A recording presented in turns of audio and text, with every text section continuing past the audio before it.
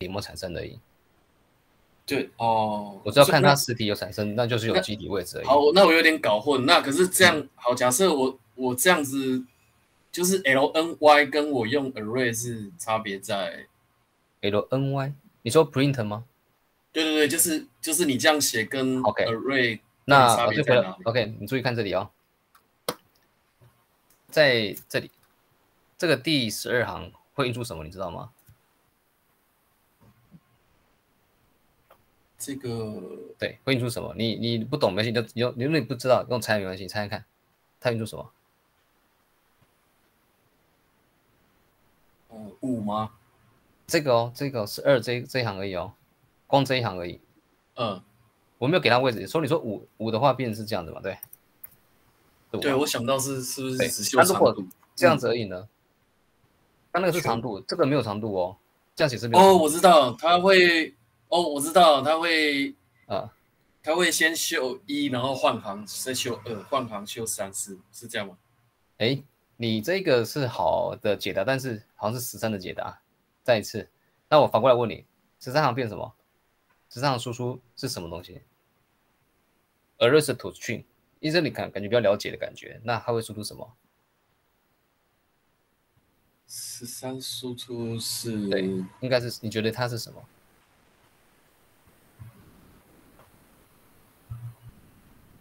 猜一看，猜一看。呃，他会照那个阵列的方式把它修出来。啊，对，这个是嘛？嗯，所以我们先把这这找一下，我看答案是不是这样。切割一下。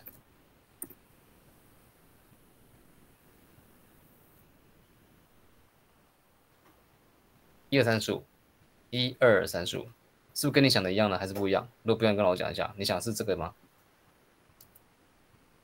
诶，这个是，哦，这个是十三，这个应该是十三的结果。嗯，对嘛？所以跟你想的一样吗？啊，好像不一样，跟我想。你想你想是什么？哦，我刚想的是嗯，他，呃，他他会一次一次修一个这样子。一次修一个。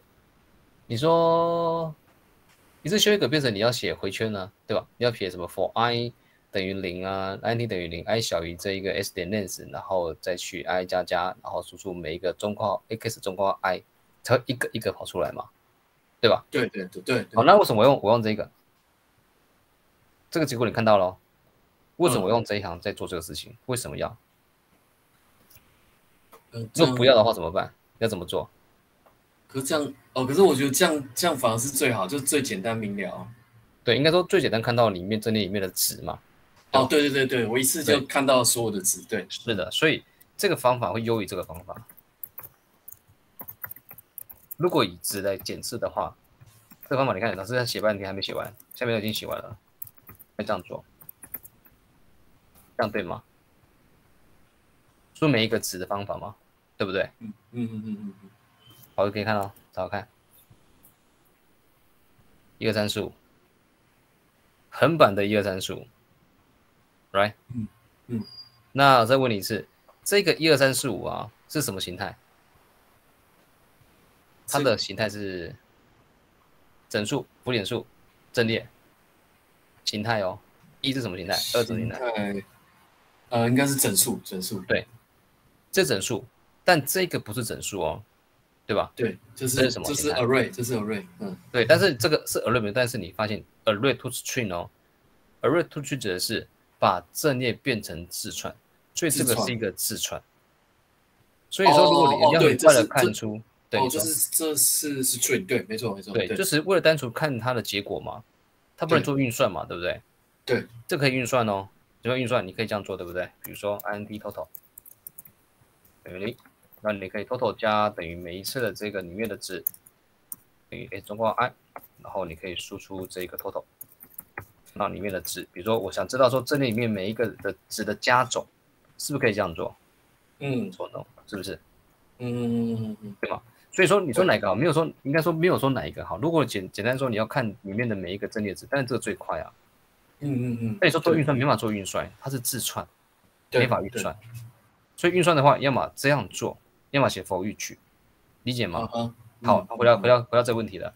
所以说如果这一个十二这一行对，那这一行就可以输入这个东西的话，假设就可以跑出这个东西出来的话，那何必写这个跟这个呢？对吧？如果这一个东西就可以输出里面的内容物好了，那我嗯何必写成那么复杂，回个回圈呢、不管有没有加转，它好了，我干嘛写出这样子？我写这样就好了，不是吗？哦，对啊，对，所以这个就不是输出值了。那我老师问你，输入什么？你觉得它会是什么？不是值，那会是什么呢？嗯，可是这应该，我觉得应该是自创吧。好，猜了我猜，没关系，猜猜看，我们我们看看结果哦，注意看。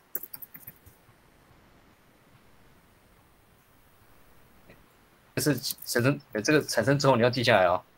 好，看一下。好，同意这是什么？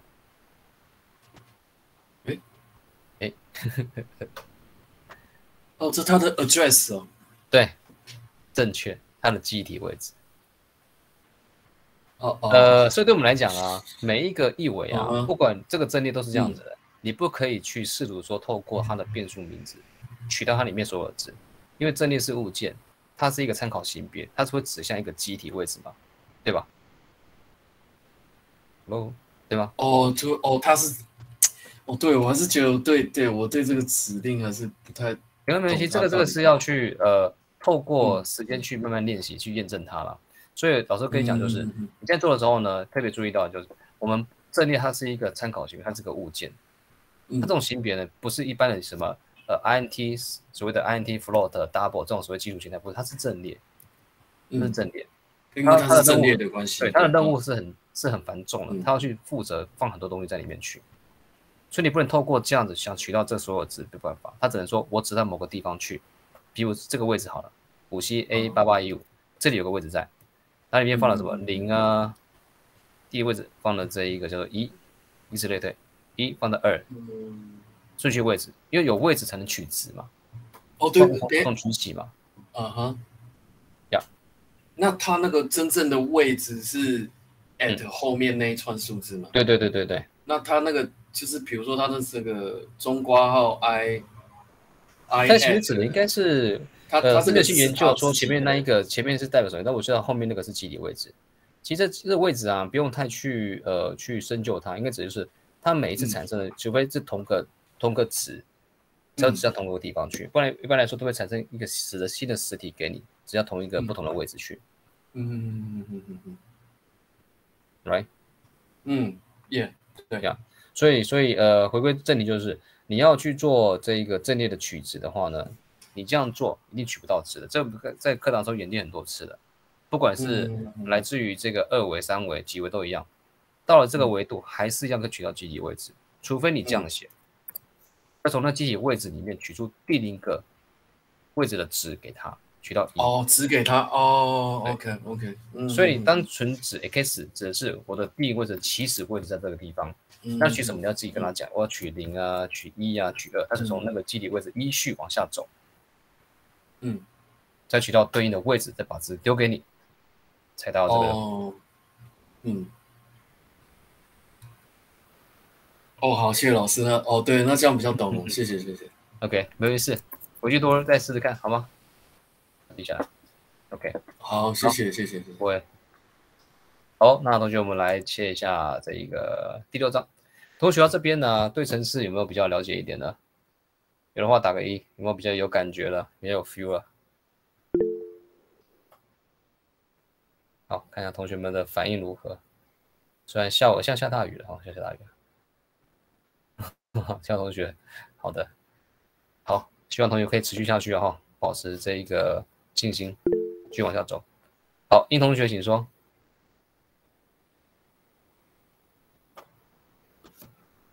应该是三十号同学吧？老师，呃，是的，老师，不好意思，那个 arrays to string，Yeah 可以改成 arrays to int 吗？array to int 不行，不行，应该说你看哦，今天假设你就图 int 好了，你写图 int。好，我就问你要为什么要图 int？这个假设呢，里面是浮点数，里面是字串，有些里面是这样的，不图 int 吗？可以吧？对吧？那如果是 double 也不能涂 int 啊，心态不对啊。所以对我们来讲，这个是一个手段。同学，嗯，应该说不要被这一个稍微去迷惑到，它只是一个很快去把你阵列形容形容出来的一个手段，转成字串也方便你做检视用的。所以，如同我们在一直强调说，这个输出啊，是不是给使用者看的？是给你看的，是你去检视用它的。所以，最终假设你要去做运算，你还是会写回圈，除除了写 for、写 for each 都可以，把值抓出来之后做运算。做排序、做比对，你要写传统的写法。这个写法是单纯说我们在检视阵列的时候，不希望呢再这样写过一次，因为因为什么？因为我想说看它的值是否正确，所以我单纯把它转成自算来看，它变成这样的形态，会比你这样输出来看省了很多功夫。一样都是看值，这个看值的方式会比较符合我们的要求，意思是说我们在检查它的时候呢，比较容易得到结果的意思。但是这个这个结果不是要给使用者的。是我们在做解释的。如果你要做运算的话，还是乖乖回到这个地方做运算才会正确，可以理解吗？可以，谢谢老师。哎，没事。OK，同学有了没关系，这是因为需要时间，只要你持续的保持这一个热情跟信心，那一定会越来越熟的，而且会尝到这个城市的一个美好的地方在。哎，同学讲义又不见了吗？不会吧？同学有下来讲义了吗？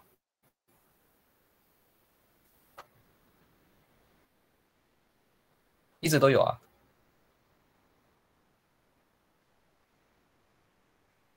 哎，为什么同学要更新啊？奇怪，因为老师的讲义的那一个连接都没有变过，啊为什么要更新？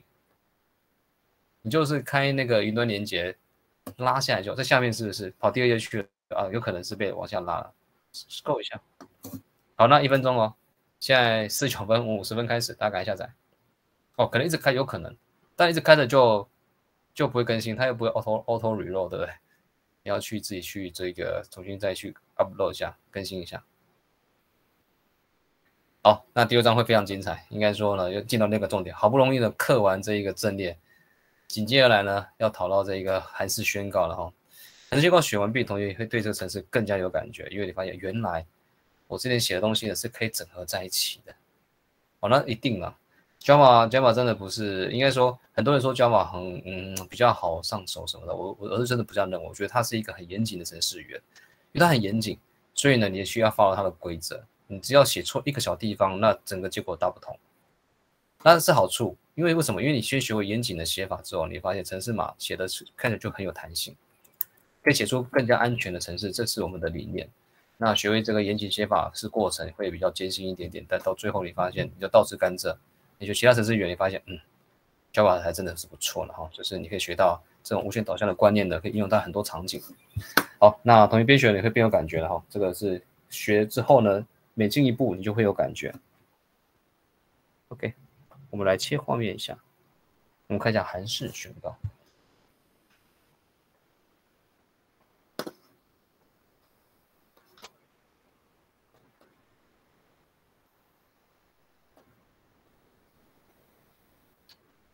同学有麦克没关的，请关一下。没事。好，那我们来看一下这个韩式宣告。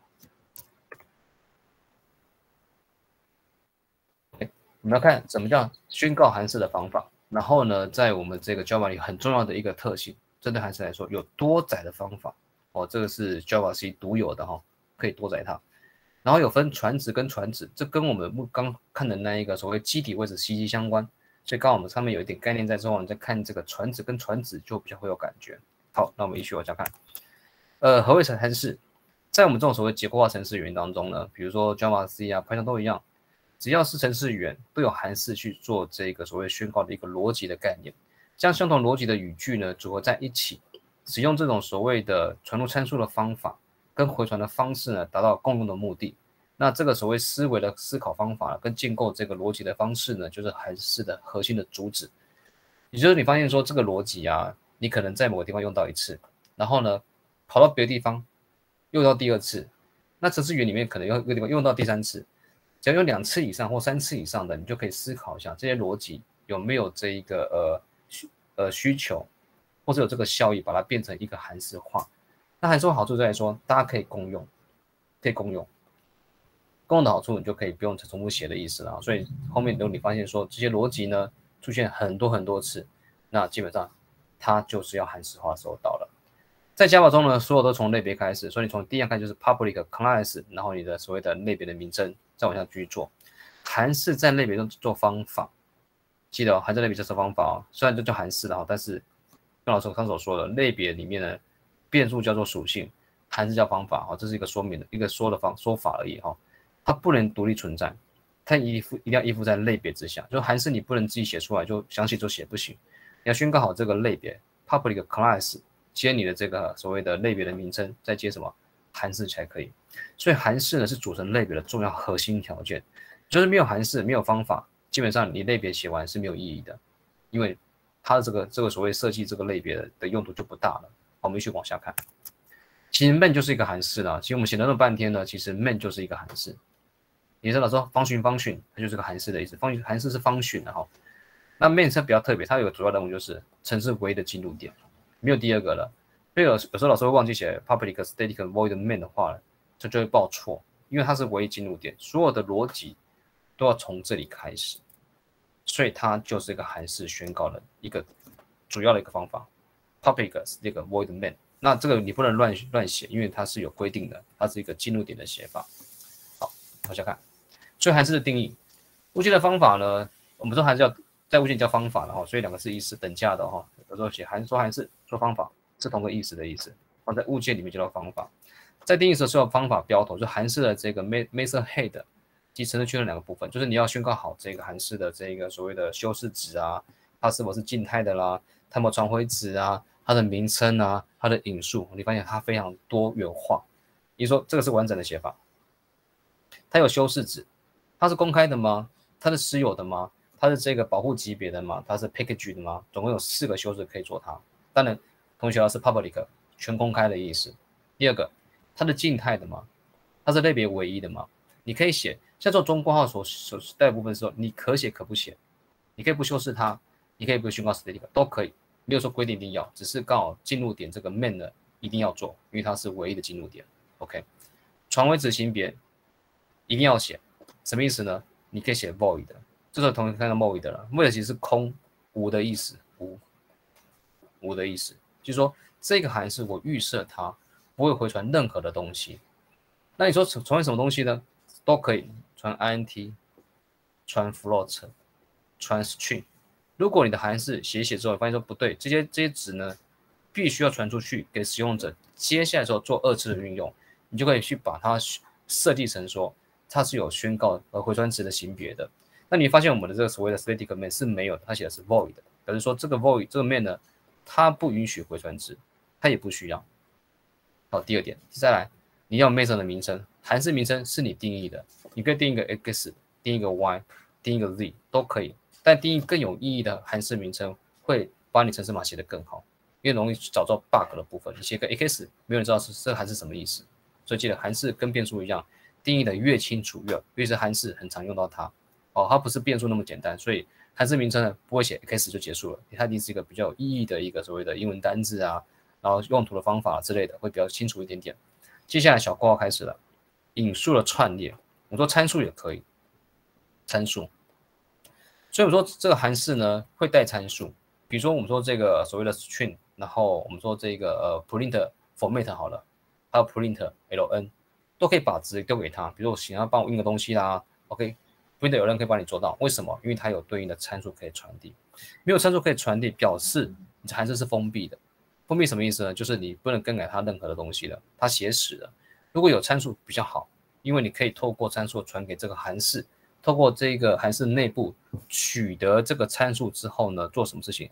做他想做的事情，比如印出这个文字，做这个运算的加总，甚至做什么逻辑运算都可以。所以参数有跟没有也是你决定的，参数的多少也是你决定的。所以整个还是总的来说呢，整个功能形成面呢都是从头到尾是你设计出来的。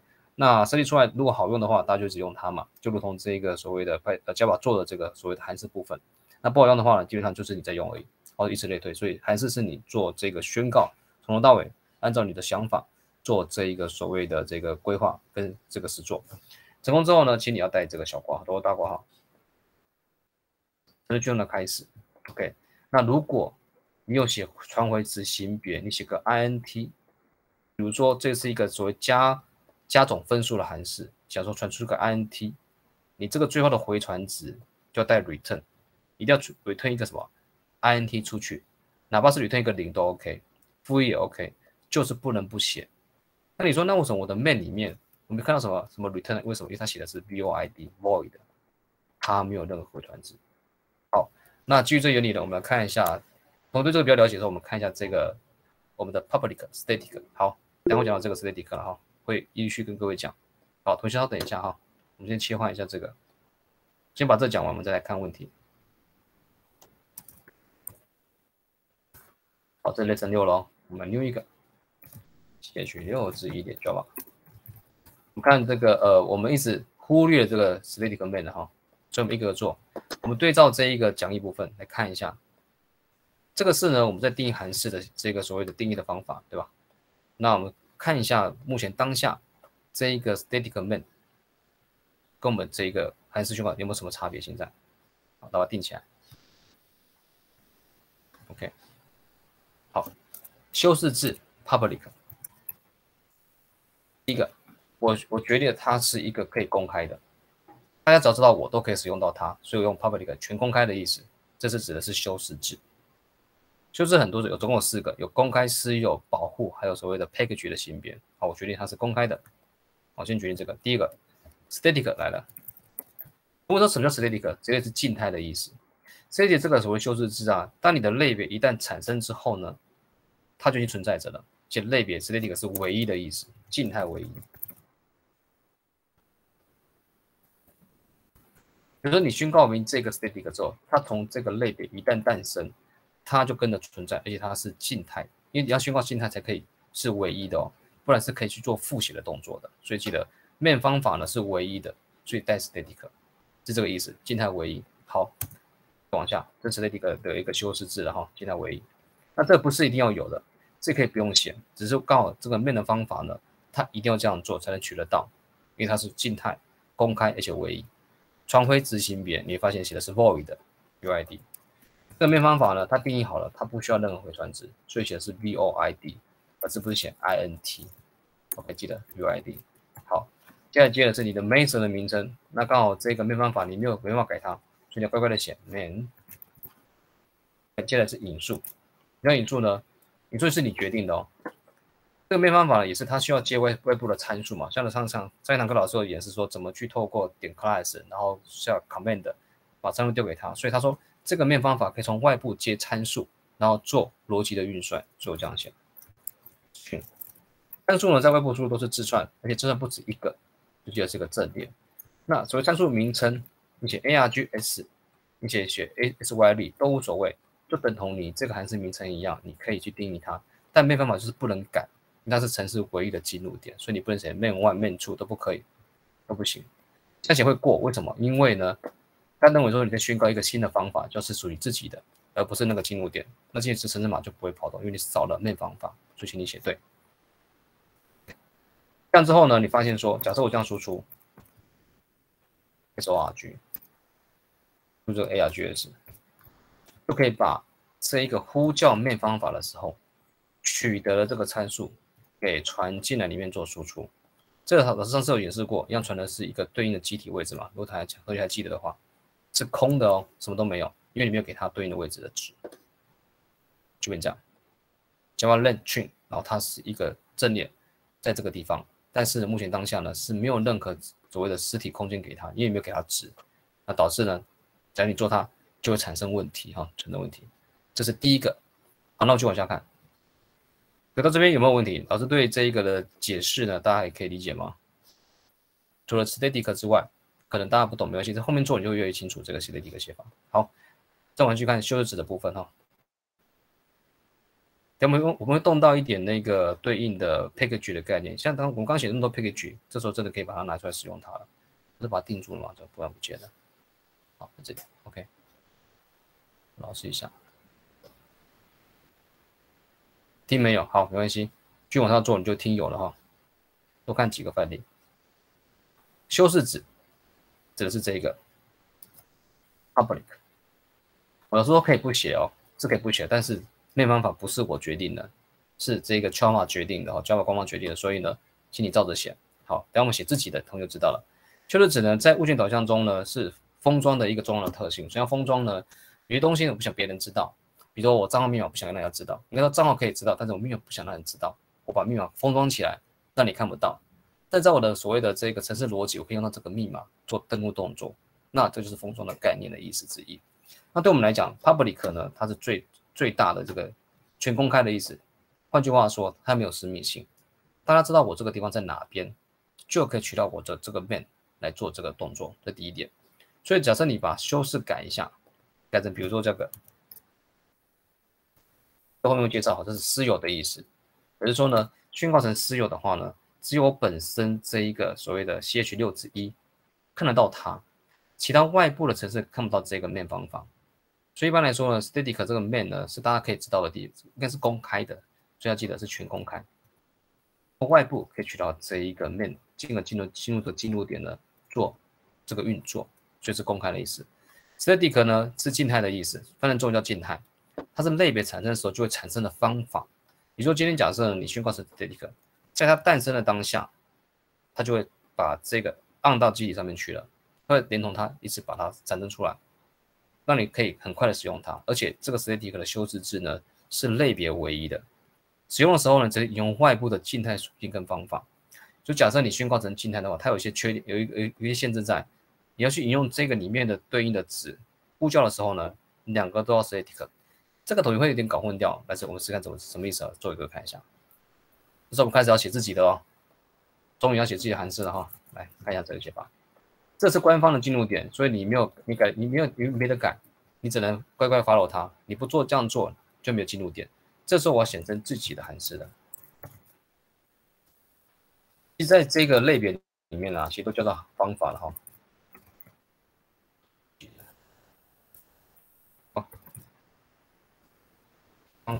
为什么呢？因为我在类别里面，在 class 里面叫做方法，方法等同函数，所以，重新把它看成一样的先为主哦，辅助一下。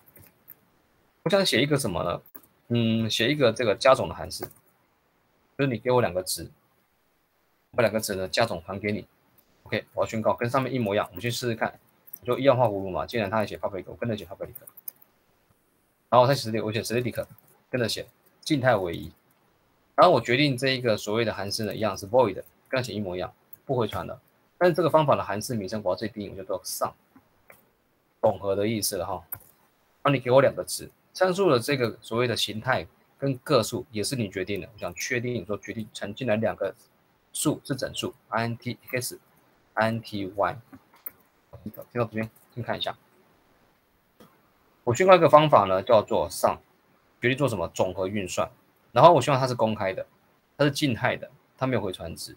然后呢，两个参数，因为我写的是两个数的相加，所以我希望在小括号里面呢，从外部呼叫我的时候，一定要给我两个参数，一个都不能少，因为两个数只能相加，一个数不能加自己。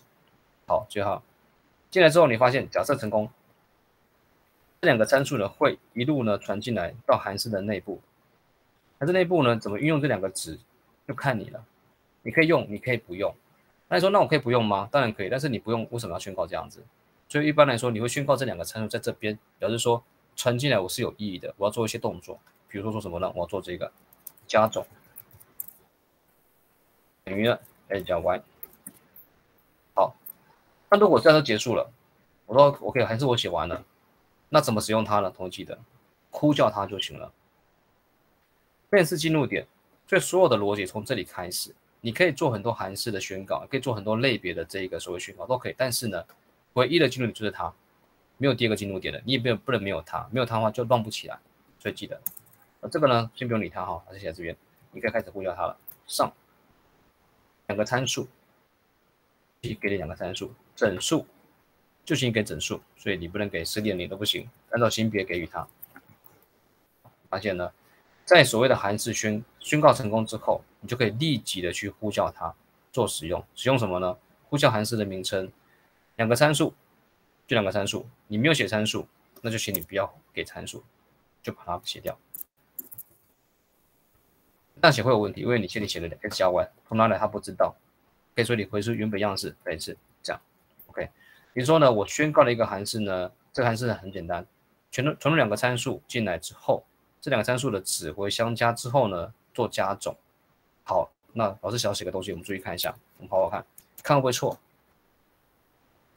好，你发现呢，输出没有错，但是我没有看到三十这个这个值，十加二十不是要三十吗？怎么看到一个机体位置？这是这这是它去哪去了？也没发生错误哦。假设你写错了，上万，行，被宣告上十也不行，少了一个参数，多了一个行不行？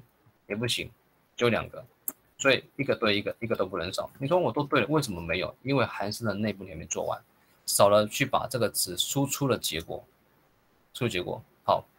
prement 呢，这个修饰字呢会在私有的类别比较多一点。这个在后续有同学跟跟同学讲怎么去使用它。好，大家先先等一下，好，先等一下，先看公开为主，好，公开为主。好，我们就往下做，要去使用它哦，要使用它，印出来就可以了。套套。这个在去使用的时候，你发现没有任何输出，是因为你没有把它印出来嘛？你做加总没有错啊，然后但是你没有做任何的输出的话，它就不会输出。哎，这就指你可以说什么总计为多少都可以，总计为多少？我先看总计为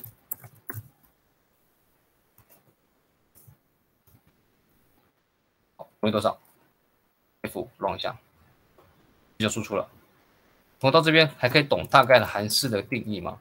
到这边，先不管它的这个修饰词，什么这 public 啦，private 啦，这个，哎，对，应该说逻辑里面呢，就比如说像老师讲的，你就不想输出可以？当然可以啊，没有没有规定说一定要输出，不输出但也过，只是你觉得合理就行了。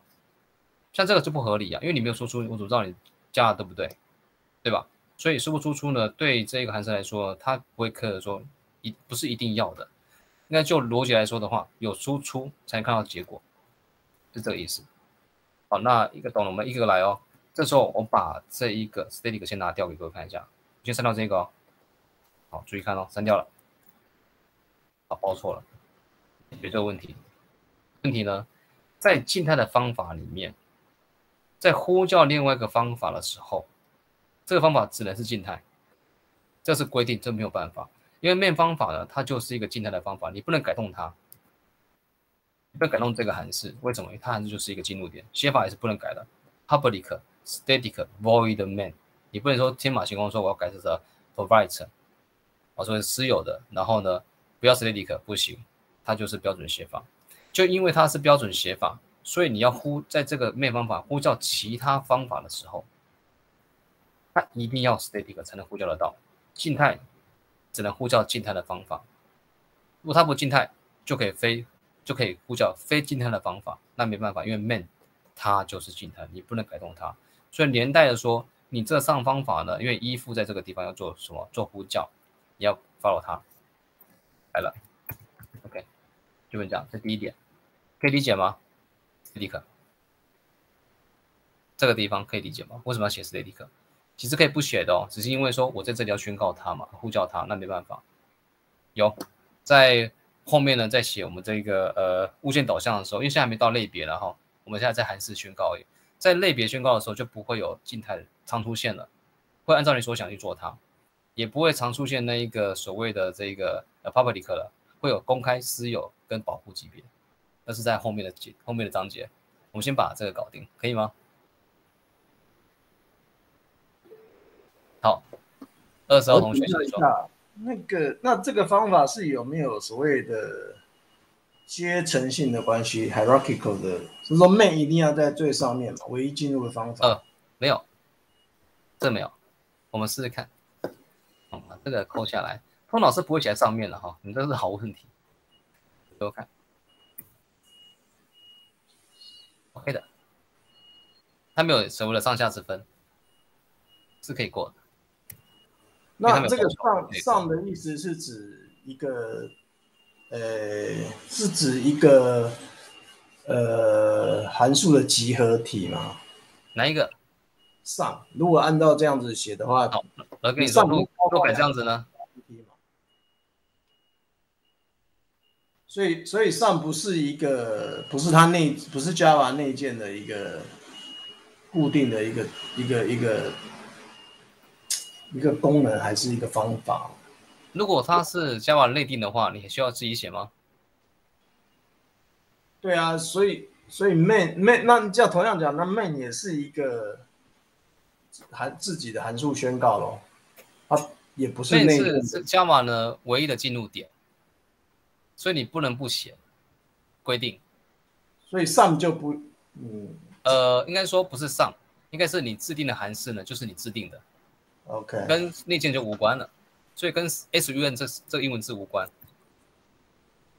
道吗？你写 X main 就是一个一个入口就是了，对，这就是唯一入口。你再去宣告，你没有入口就没办法跑动。比如说我把入口关关掉，好，老师问你，这是怎么进去？从哪里开始写？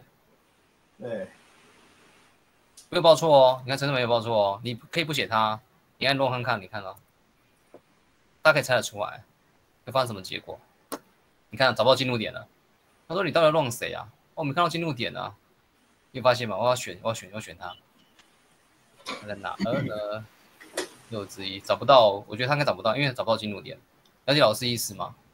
了解了，嗯，对，所以对我们来讲啊，其实呃，应该说这个面方法，我还没还没还没学函数之前，大家不会 confuse，是因为说这个方法大理所当然说它就进入点，没有错，它就进入点，所有的逻辑在开始开始写，什么？呃，输入端啊，输入学生成绩资讯啊，宣告阵列啊，开始做这个输入输出都在这里做。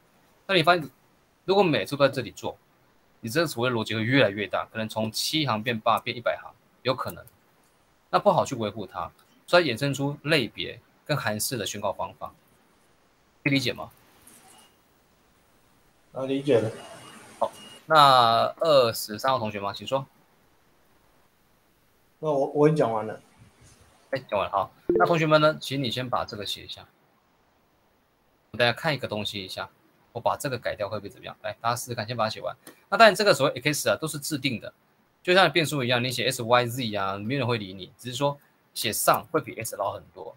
上的分成动就是总和运算的意思，所以假设你硬要写 x，其实也没有关系，可以，只是语义不详，到底 s 是什么意思，没人会知道，写上会比这个好。名称大家可以定义它，没有说规定一定要这样写。对，制定函数就是制定的意思嘛，自己的方法嘛，而不是呢内建的方法，那是不一样的。二十号同学，你还举手吗？还是你可以说？哦哦，对，老师，我只是要问一下，呃，因为你刚有说那个就是那个上为什么没有回传值，然后呀，对，但是可是我看到是说，可是你你 static 后面已经。就是你下面那个自己那个函数，你还是宣告成 void，可是 void 的意思的就是不回传值嘛？对，在函数里面呢，它一定要宣告，不回传也要宣告。哦，我意思是说，那你已经宣告 void，就不回传值，所以那那这样子它不回传值也是正常。就是就是我是觉得这个语法会让我觉得有点逻辑上有点混淆，这样就是我不懂这个。你们要点在哪里？跟老师讲吗？就是你已经宣告 VUID 不回传值，那那所以那这个这个函是就是它不回传任何值就很正常啊，因为它已经它已经宣告说它不回传任何值。所以老师没有回传啊？你有发现我有回传吗？我看你有看到 return 这个关键字吗？哦，没有没有，对对，第一个你看哦，这个所谓的上呼叫啊。哎，同学可能老师还没讲 return 这个这个关键字，所以大家会误解。你说韩式的内部的做动啊，都是你决定的。什么叫决定什么？逻辑的决定。就像同学讲说，我一定要输出吗？我可以不输出啊，我可以把它砍砍掉啊，它不会报错。但是这样不做的原因在于什么？你按 run 的话，你发现它没有任何结果，即使你算对了三十，什么都没有。为什么？因为你没有输出。就如同你在这里做运算，比如说你不要看韩式的，就这样。我就重来一次，这里呢直接写个 s y i n t s 等于十，y 等于二十。那我宣告一个 total，先加 y。好，我写完了，我按 run。同学看得到 total 这个值的输出吗？嗯，看不到。对，没有错，看不到。所以你说这样好吗？当然不好啊！你写了半天，结果你不输出这个值，那有意义？没有意义嘛？对吧？嗯，对，对。那就因为原因呢，所以我确定说。这个函式呢，我想写的是封闭的，不回传。但是呢，我想把这次给大家看，最起码哦我们是正确的哦，了，哦，这样我了解，OK。呀，大概这意思，理解吗？哦，对，就就是因为它还是哦，因为它这个函式里面它有它有一个输出的指令，所以所以我们在跑的时候还是断的时候还是看得到。好，那我知道。嗯对就如同你写在这里面一样的意思。好，那谢谢老师不好意思没事没事，哎，不要不好意思，你这样问题是正确的啊，不要不好意思，来继续写，把它写完。老师再跟我讲说 public 可以怎么改，那就更有感觉了。请你把这个写完，然后试试看哦，呼叫一下。这个函数很简单，就是把这个加总的逻辑写在这里面。虽然这个函数没有大意义在，但是是同学们第一个函数。主要原因在于说，这个要关照他一下。同学问的很好，说我每次都要 static 吗？没有错，因为我们现在还没有学到这个所谓的类别设计，我们都依附这个面方法在做动。那没办法呢，又没办法，它是 static，又是唯一的唯一的进入点，你只能 follow 它的规则。static 这一个修饰字静态的话，去呼叫其他的变数跟函式，那个变数跟函式一定要 static，不能有其他的。要 follow 要 follow 这个规则的话，你的函式一定要变成 static 才行，不然我我老师也不相信，因为觉得 static 真的很很麻烦，做这个没有意义。但是没办法，在这里做就一定要。所以后续呢，老师就跟各位讲，在做物件导呃所谓类别设计的时候，跟宣告的时候呢，我们就可以宣告自己属于自己的非 static 的函式。那但是里面的所谓的逻辑概念都是一样的，不会因为说它有 static 就会写不一样，不会，只是所谓对应的关键的这个修饰字不一样而已，导致不同的结果。所以大家可以慢慢的一步往下走了哈。先把这个做对，那我们再看这个 public 到底是什么意思。可能这边做完了，请你打个一，我们再去往下走。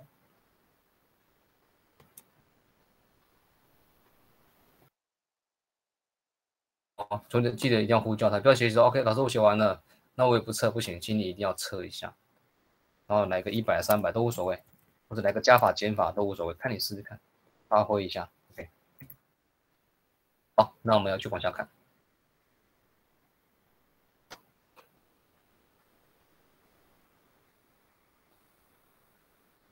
好，那我们看这部分。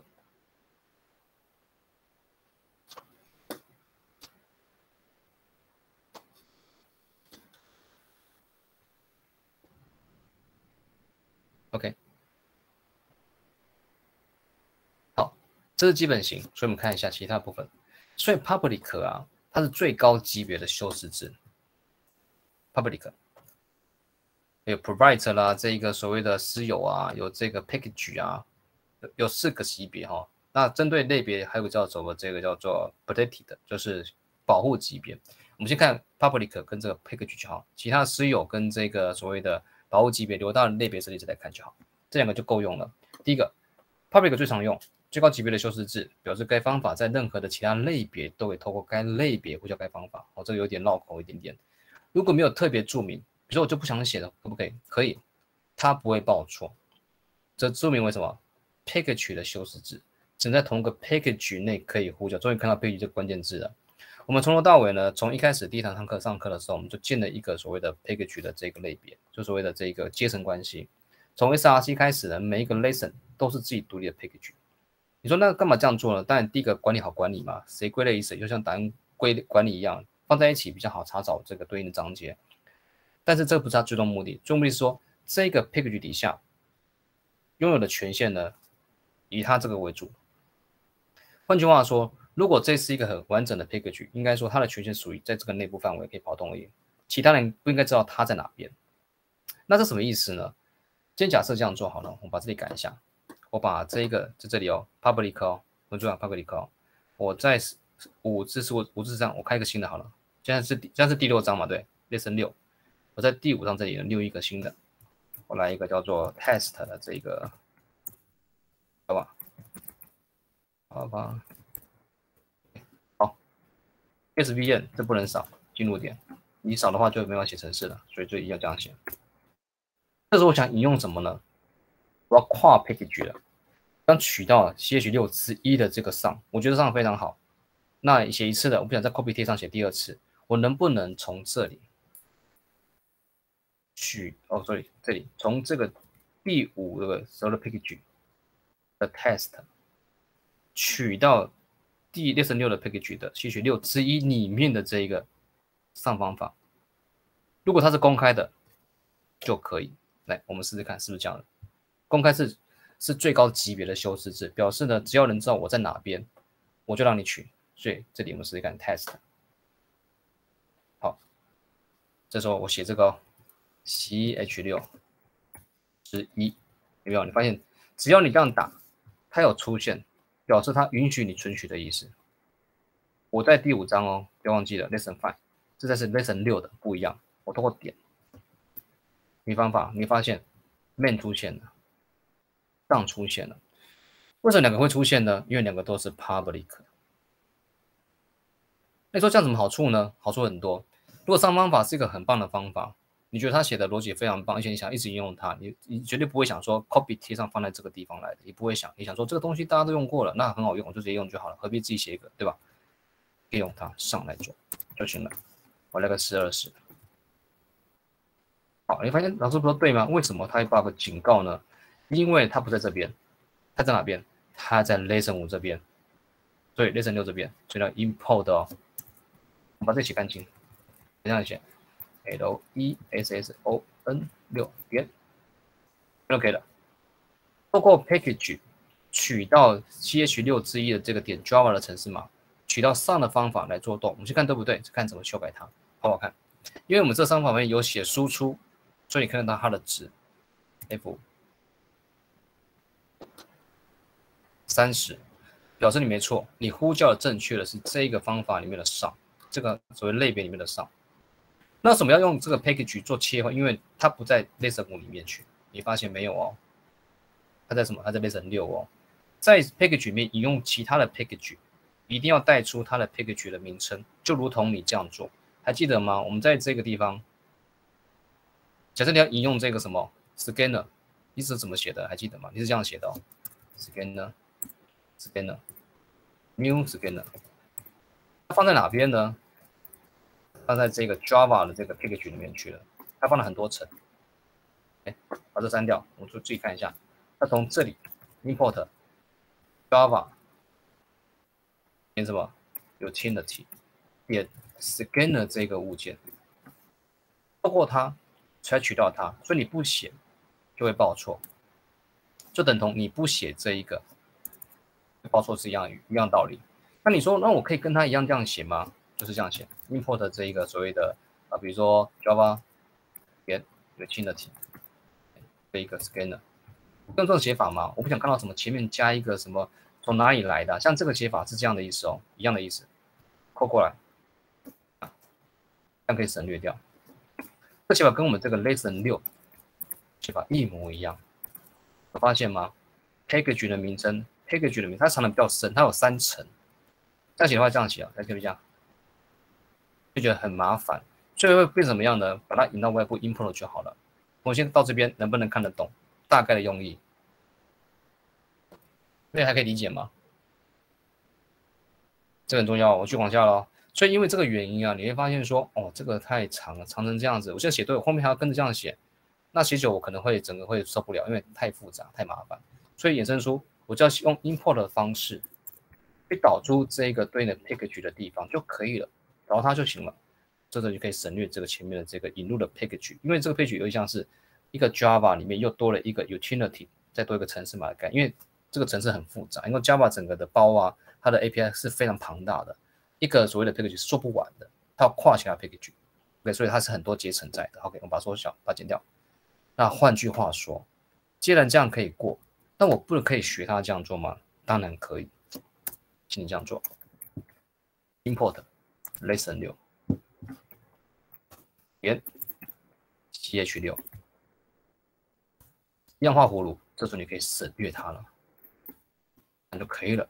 你发现这就非常妙了，因为你这样写，取得这是跟的使用权，因为你这样写，取得这个 ch 六之一的使用权，两个是等价的关系，一模一样，所以这个对，这就对了。好，那我们再看一下，这样对不对哈？确定这个写法。更重要哦，到时候我们在写比较大庞大的这个程式，你发现我们跨很多 package，比如工具类的，有记你有自己写的工具，有这个跨做做什么图形处理都很多。当然分门别类是不一定是要有的话当然比较好，你可以把程式码写得更好。OK，好，是对的哦。好，那老师再改一下。你说呢？我取到它很好，是为什么原因？为什么可以取得到？是因为你在这里写的修饰写是 public，最高修饰级别，全公开。只要你知道我在哪里，你都取得到我。只要知道我在这个地方藏在这个地方，import 我，甚至呢把整个写出干净的完整写出来，就可以取到它这个扫方法。那你说，那这个 static public 这个 main 也是啊，不是公开的吗？能不能取？同学可以取，我们试试看，很妙，你可以取它的面来用。C H 六一点 main，你发现是可以的哦。哦，那发生什么事情？要出去看，真的很好玩。然后再把这，啊，这就把这个先拿掉，再一次哈。这就是你只要是 public static，其实到处到处都可以取。那我把这个先去掉。那这里的话呢，看他呼叫他一下，会发生什么事情哈？跑看。哎。同学为什么会成三百？有谁知道的？可以给老师答案的吗？为什么呼叫这一行它出现三百？有人知道的吗？我再移到这一个学习流里面看一下喽，你们知道的？同学这边是不是有呼叫这个上？有发现？同学有发现吗？是不是刚好我就呼叫我在 T H listen listen 五这个 test 的这个档案里面呢呼叫了？谢取六字义的面方法，请他执行这样程式码的意思很像，对不对？就这意思。Yes or no？是了哈。那当然没人会没人会这样做了，就是这样有点怪，说好像是我在跨这一个不同的类呢去启动它的程式，但也不是不行啊。你你开心就好了，没有人说不行，只要它是公开的，只要它是 static 的，这跟谁也有关系哦。这到后面有再跟我讲，但先记一下，全公开。只要你知道我在哪里，基本上都取得到。不公开，那就会有问题。好，看发生什么问题，我们再改一次哦，再来一次。我把这个拿掉，这个比较好。这个这个是呃为了写而写的哈。好，因为呢，你的在这个七语六字里面写的是一个 public static，这个所谓的全公开了，然后静态的方法，在外部呢，我只要透过这一个类别的名称，就会取到这个函式。进而去使用它，这是一个很好的一个观念，因为可以跨不同对局做这个函式的取用。今天假设我把这个修饰拿掉了，我不要画贝里克了。同学注意看这边左边这边的 test 会变什么样子哦？注意看，我拿掉帕贝里克，你发现它变红色的，我就看到满江红这样出来的哈。哎，同学想想看，为什么会这样？或者一个错误？有人知道的为什么？为什么我一旦把它拉掉就不见了？那就不给过了。对，变得不公开了，非常正确，正确，完全正确。那你会说，那不公开，为什么我这里本身自己找得到它？为什么？为什么这里上法没有报出，没有什么出现错误啊？没有错，但是我的 test 点交法为什么发生错误？因为呢，在这一个所谓的你没有写是这意思哦，P A C K H E，我记得。这种概念，但没有这个写法的话，就是它是一个 default 的概念。这个写法，因为我听看一下，对，这边这样写。好，一般来说呢，你不写，一般意思就是 package。这个 page 是用启蒙方式，不不能真的修饰它哈，它是真的是 package，只是说只有我这个 package 可以使用。S 六里面的大家可以用它。OK，那我们试试看，如果以这个观念来看，自己本身一定可以用，因为自己本身宣告的嘛，怎么可能不能用？一定可以的。因为是是 package 型别，可是我来另一个新的，我叫 test，我在 lesson 六里面出现一个 test，这里面哦，啊不是 lesson 五的，好 PSVN。换句话说，在外部的跨不同的 package，它取不到呢非公开的这个方法，这是对我们这个 package 的理解。那假设我在同一个 lesson 六里面，我想取到它可不可以？来，我们试一下，ch 六，点，有没有出现了？是可以的，是可以的，因为呢，在同一个 package 里面，分规矩里面，你不写修饰字，代表叫做 p a c k a g e，叫做 package 的修饰字，不用写它，也没有也不能写，你不写代表说，在我的这一个所谓使用的权限里面呢，在同一个 package 才看得到，可视范围了，其他地方他他都看不到我这个地方，看到我这一个所谓的函式。对，没错，所以我们希望说，就这样的修饰字呢，把它适当的函数做封装的概念。你说封装为什么这样做呢？应该有些，比如说这个函数就不希望被别人修改它，不想别人去引用它。如果大家都可以用这个所谓对应的每一个函数的好了，或是每一个逻辑的话，其实你程式码会变说，呃，公开跟私有混在一起，那基本上封装不成功的话，你会发现出现很多 bug，甚至会发现一些所谓的资讯漏洞，甚至一些机密会泄露掉。所以因为可以封装，就会把一些机机密的资讯呢，给封装在某一些人可以用，比如这是你，就是比如说这是这是老师的 folder 叫 Jerry，这个是 Mary 的 folder，Mary 的 folder。在有一些关键的所谓函数呢，我想说这个函数不能给他用到，因为太危险了，可能会牵扯到我里面的一些值的泄露，就把它设成不公开，结果自己本身可以用。但部分的函数呢，我觉得哎可以共用，因为我觉得共用没有差，那你可以减轻这个共，或是我一定要跟你共用，因为你要取得我一些资讯，才做一些交互的这个资讯的传递，或者什么 public，所以要设 public 设成 static 是按照你对这个函数的理解。那一般来说呢，如果你呃一般来说大家都会贪贪便呃贪那个所谓的方便，全部是 public 啊，因为公开它们没差嘛，会比较好存取。但是后面再重新写程式，你发现说很多时候你要适当的封装这些函数啊，封装这些类别啊，达到资讯的这个隐藏的效果。就如老师说，有些资讯就是不适合公开，因为但是我在我 package 里面可以公，为什么？那是我写的，这个是我写的，比如说是 Jerry 的 folder 好了，这个我写，当然我可以全部。交互运用没有差，所以我写 public 也没有意义啊。我写什么，不要写就好了。这里面都可以动作。直到我说 OK，美女跟我提说一个要求，你可不可以把某一个对应的这一个类别里面的一个方法借我用？那我觉得这个写的很好，而且我需要，你就可以思考说，那这个方法好像对我来说没有什么无伤大雅，也没有什么秩序泄露的问题。OK，就把这个原本不写的 public 改成 public，那它就会使用了，就达到资讯共享的目的。同可以理解吗？大概这个理念。OK，那这当然这是用这个方式来讲会比较牵强哦。我们到我后面对，没错，到后面再做这个物件导向这个类别设计，我觉得更清楚说，哦，原来这是有意义的。因为你不这样做的话，到处可以拿到纸，到处修改，到处修改最后，你发现说这个东西到底是是是什么东西，你都搞不清楚了，因为太多人修改过它了。所以你要适时的去封装必要的一些资讯，这是必要的观念哈，别观念。好，那回来这边，所以你发现它正确了，而且第二个点。你发现你根本写什么 import package lesson 六，又写这样的，又写啊？为什么可以直接引用它？因为你就在你就在 lesson 六里面嘛，所以不用特别写一个什么 import 这一个 lesson 六再去取的这个不需要。同一个 page 的东西啊，它不用特别写，因为我都在 lesson 六了，为什么要再写个 import？不用再写了，直接用就行了。那我们说我在写取六之一呢，把这个上方法从 public 把它删掉，变成什么 package？只有自己同一个。包里面的，这个也是包的意思啊，封包的意思，可以使用它。所以我在 test 里面，你发现我没有任何 import，就可以直接取，完全成功。好，那假设你说这个同学说，那我可以设成私有的嘛？私有我还没学到，那我们先试试看。这个先把改正哦，现在不行嘛，对不对？我就把它注解掉，因为不能外部取用的。能看一下私有的方式，好不好？背过就好了。如果假设你把这里改一下，从 public 全公开，大家可以用用它，让它过。这里再改一次，把它打开，你发现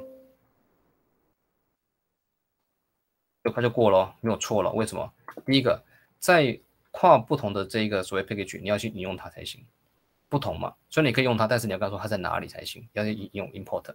然后呢，这个上方法一定要是公开的，不然会取不到。为什么？因为跨不同的这个 package。这第一点，在自己本身的这个呃 package 里面呢，在引用的时候呢，其实没有这个限制，公开不公开对来说没有意义。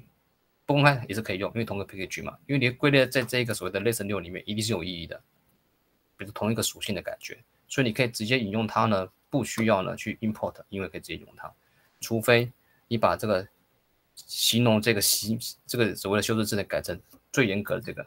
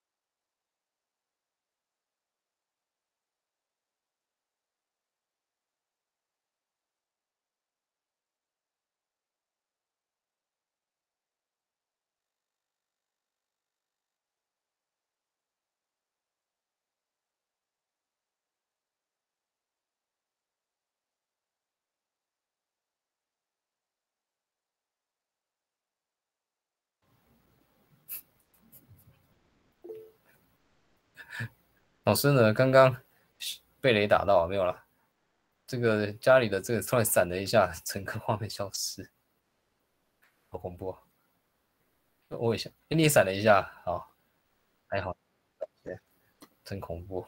好，那我们继续往下讲。我一开始突突然怎么画面怪怪的？突然闪了一下。好，那这这 provide 呢是私有的意思，了哈我们就往下看。我是把这个画面切一下，哎，同学没闪哈，希望等下不会闪。我今天刚刚这个雨真蛮大的，我听到声音好大声。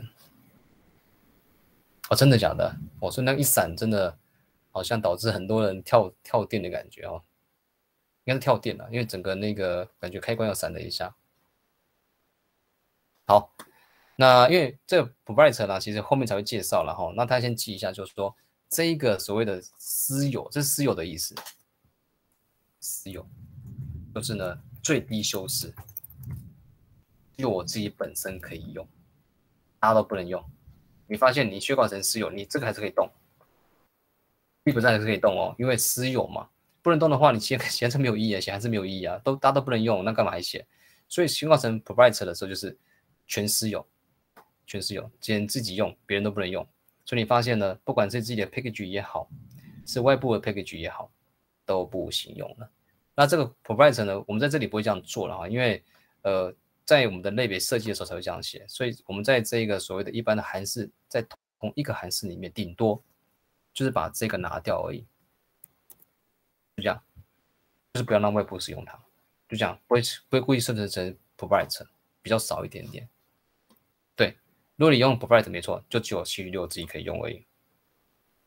正确啊，当然这个修饰的方式啊的所谓的开放的权限与否，多到多多哪个级别都是你决定的哦，这没有规定说一定要怎么做最好，只是你你这样做，你宣告它修饰它之后呢，就有一些权限的一个问题，就是你可能有时候在某些地方跨跨这个 package 就是不行，然后跨了这一个写的 provider 离开这个 ch 六这也不行用，为什么？因为私有就是全私有的意思，所以我们简单来看，今天假设没有任何的 issue 的时候，你就写。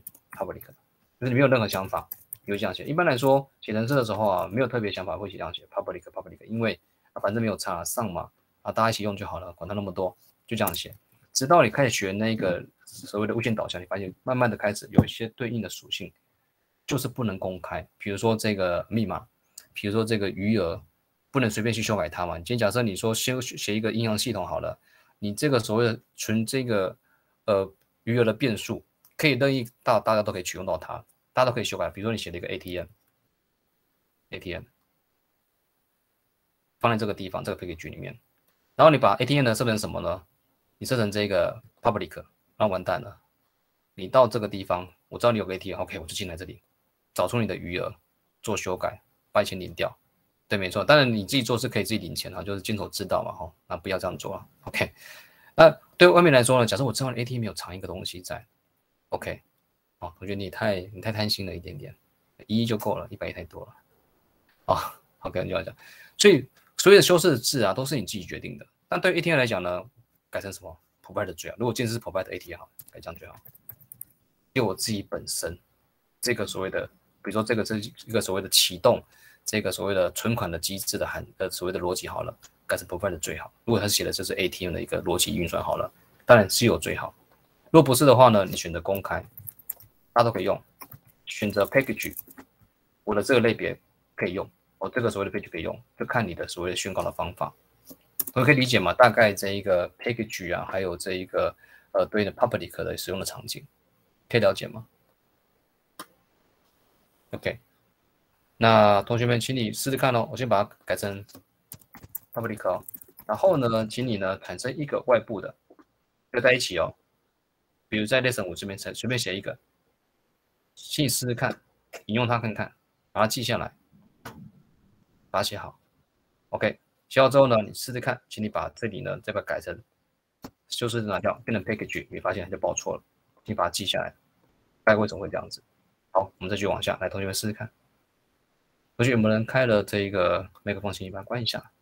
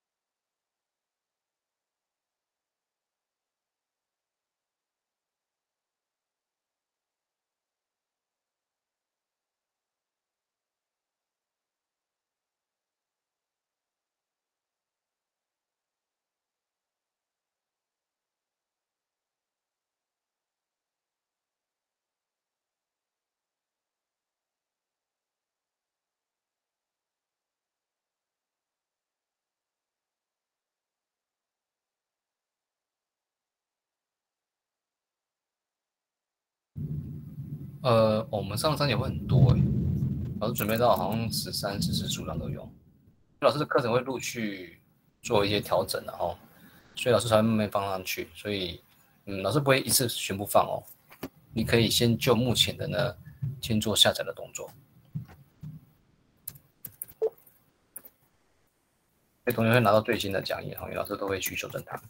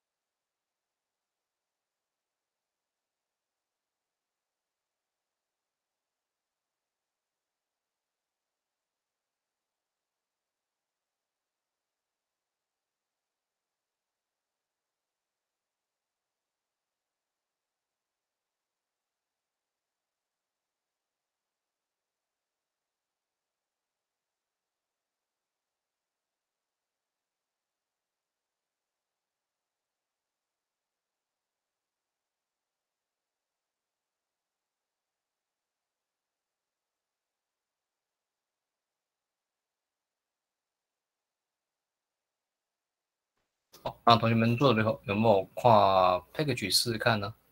是不是可以真的可以取得到呢？能不能是是成功的？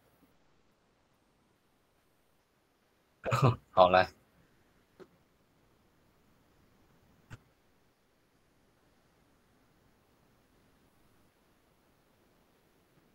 看一下啊。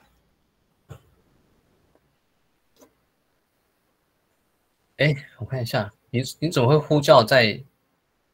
你的面在哪里？面在这里。哦，你把方法宣告在面里面不对，方法要独立，它要在独立在面之外，没有那个上对上留着上留着，下面那个还是宣告拉起来剪下，剪下来，对，贴在这里，哎，正确贴。好，那你写的 O N T 应该是 I N T 吧？还是宣告的心态是 int，然后后面那个多一个逗点，那个不需要。那为什么是 c 跟 y 不是 sy 吗？打太快了是吧？sy 好，那既然你写好了，那为什么你呼叫的时候要多一个 x 冒号一百，y 冒号两百？为什么？x 冒号哪来的？呼叫它的时候在第七行，为什么多一个 x x 冒号？那个那个都不要，不不不不不不，给值就好了，x 都不要出现，等于不要出现，给值就行，给正确的形态。小括号要带着，等于拿掉，等于拿掉，过了，Ctrl S 一下，为什么你都没有格式化？你的格式化跑去哪了？我觉得 Y Y，哎，对对对对对对，就这样，哎，这样好，好好看吗？喂，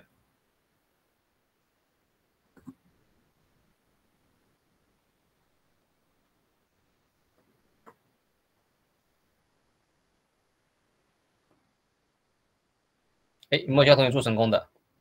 跨这个不同的配句，有没有同学试完的感觉可以理解它的意思？这个在后面我们常用到哦，所以请你务必要测试一下。同学记得麦克风要关一下哦。哎，好，我们有一二三四五个四个同学成功，来，那等一下，同学们，我们大家看一下回传值的部分。其实我们现在用的这个函数有点蹩脚，你发现，嗯，好像好像还可以，但是感觉哪里不对劲，因为少了回传值。所以等下看什么叫回传值。有回传值的宣告之后，你发现整个函数的感觉大不同。所以我们一路路往下走哈。他先先搞懂这一个 package，其实我们写这个是有意义的哦，不是为了说只有分类而已，真的是为了去做这个跨不同 package，你可以要做一些权限的设定，适当的封装。那封装的这一个定义会在我们的类别宣告这那个章节会把它讲的更加的完整，它会有完整的概念，说哦，原来我要这样做它。这也是 Java C 的很大的优势。你发现，假设后面同学在学这个 Python 的话，Python 很好，老师也喜欢 Python，老师之前主教是 Python 了哈。但是你发现 Python 它一个很一个比较小小的缺点，在于说它的物件导向没有那么的明显，所以它比较难写出一个大的系统。不是不行，因为说你要去兜那个系统的时候，你可能写的法没有像 Java 的那么的弹性，那么的可以去做模组化的动作。所以 Java 是有它学习的必要性，然后所以大家尽尽可能把这个无线导向的观念建立好之后，你可以试用 Python 去把它实现，其实是可以做得到。只是你发现，其实到最后你发现 Python 有它的优点，但是 Java 的优点也不少。好，大家两个都学会的话，那基本上就是无敌的哈，就很棒，就很棒。好，嘉同学呢，好不 OK？OK，我们就去往下了，因为函数部分呢，重点还没讲完哈。那简单演示一下，各位就是跨。不同的 package，请你这样做。那对我们来讲，其实目前这个函数啊，没有没有私密到说要宣告成其他型别的哈，所以我们用 public 就好了。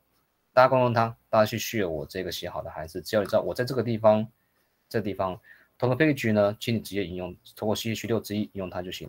跨不同 package 呢，请你 import 我这个 package 的名称跟这个所谓的呃 listen 六点 C H 六之一这个所谓类的名称呢，就可以用我这个上，请你这样做，那你就可以使用它。那自己本身这个类里面就没有感觉了。你用什么私有、公开、package 都无差。为什么？因为函数就是要用的嘛。你宣告层不能用，那你函数内部就不能用了，何况是外部不能用，对吧？所以我们说在自己本身都没有差，一定可以用，一定可以用。好，那我们继续往下。机制原理呢，我们写到一半哈，就是这函数看起来固然不错，但是少了一个回传值。回传值很重要哦，别忘记回传值的部分哦。第一个，我们在这里做就好了。我们再宣告一个函数给各位看。但是就先这样子，先把它留下来，当做第一个纪念。接下来我想宣告第二个函数的，我们之前做逻辑，同学都还记得，我们写一个逻辑函数长这样，就是有一个起始，比如说这个从一从零开始好了，有个终止，一百。我想写一个什么呢？从零到一百的总计的这一个逻辑归零，写包围圈否 int i 等于零。i 小于这一个，好，i 等于 start，因为起始值嘛，哈，我都故意把它去换成变数，变数变数，好，i 小于 end，但是我要包含这个一百，所以我写加一，i 加加，我把一百提出来，所以故意写 i 加这个所谓的 end 加一了哈，看一下是不是这样子，输一下这个 i，我把这个数变小一点，看一下是我所想的一样呢，会零到十，包含是这个数字，帮我看。好，没问题，零到十，所以 OK 了，那知道这是正确的，所以我摆在一百。我做什么呢？我要从零加到一百，累计的值。这个之前我们做过很多练习，所以可以直接做 total 加等于 i。好，然后输出这个 total，再做 ut 总计为这个值。我记得是二五五零吧，还是什么？我看一下哈，那不是应该是五零五零是吧？对，没错，因为没有属于属偶数嘛。好，这是对的哦。接下来你说 OK，下面呢，我可能遇到个程式，比如这样。写很多，写很多，写写写写很久了，写了大概一百多行。好了，我发现哎，突然又需要这个所以对应的累加了。OK，我知道了，把这个扣下来。譬如了哈，老师在在模拟那种情境的感觉，贴上去。又遇到这个场景，又需要这样做的。OK，重复不行哦，再改一下，改一下，因为不能重复宣告嘛。我可以用它，只没有参，因为这里已经宣告 total 了。OK 的，这是题目来了，说现在算第二个。从这个一百加到这个一千，OK，那我知道改这就好了，很简单啊，那做完了。好，我给你一个从零到一百，一个给你一个一百到一千的做这个累积值，按 run。好，你发现哎，值都正确了。好，那再来，他又来了，跟你说什么？呃，重新算这个呃这个所谓的十到这个，比如说这个一万的值，你发现没完没了啊！我就一直 copy 在 copy 贴上，一 copy 贴上干嘛？这时候要怎么做呢？我要怎么做？如果这逻辑一直重复出现，你该怎么做比较好一点点？同学有什么想法吗？一个了，对，请你韩式化它。哦，我韩式化了。韩式化的要点在于说，你逻辑本来就写好了，应该这逻辑不会无中生有，一定是在写的过程当中，你发现说，哎，奇怪，这个程式码怎么一直出现？为什么会一直用到？或许你会用直用到，表示必定会用到，有可能。这时候你就可以试着把这个韩式呢，呃，这个逻辑变得韩式化。只要写两次以上，我就觉得受不了了。为什么？同样东西都一模一样，为什么要写两次？最后你可以把它呢宣告成韩式，因为我们需要在这里面方法呼叫，所以我要写什么？static，要不公开看你自己。不公开的话，本体你可以用到，配个句可以用到，但是跨配个句就不行。所以我希望大家都可以用得到，所以我写 public。要知道我在哪里就可以。那因为我在面方法要去去使用它，所以是第一个要带着，这没有办法，这这是规定的问题。因为你的面方法带 static，你们所呼叫的其他方法也要 static 才行，这是规定，哦，这是规定，所以你要 follow 它的规定，所以这一定要这样写。老师不是老师故意这样做的。VUID 我先写的没有回传值，要 total 好了，好吧？就宣告成 total 这一个函数名叫 total。然后呢，这里有两个，一个叫 start，一个叫 end。OK，我就跟它宣告一样，int。start，说老师，我可以去到 double 吗？u u b，然后 start 吗？其实没有说不可以，只是你这样做的话呢，你要看这一个 int i 等于 start 能不能吃。如果你发现说这个逻辑把我搬下来的，它能吃才行哦。那肯定不能吃，因为 int 怎么会比 double 大呢？所以记得你这个逻这个宣传入的值啊是你决定的，那等同于逻辑要以这个值为主。如果 double 可以吃，那 double 当然可以，double 不能吃，那就不要宣告 double，宣告 int 就好。好，待会再看一下怎么改比较好。在 env 一样呼叫这个函数的时候，你要给我两个字，起始跟终止，所以我把它写好，enter 弄上去。这时候你发现哦，你把这个扣下来，这个逻辑扣下来，贴上去，少了个什么？找 total 没宣告而已，应该是扣这就好了。刚扣错的地方，再一次，从这里到这里。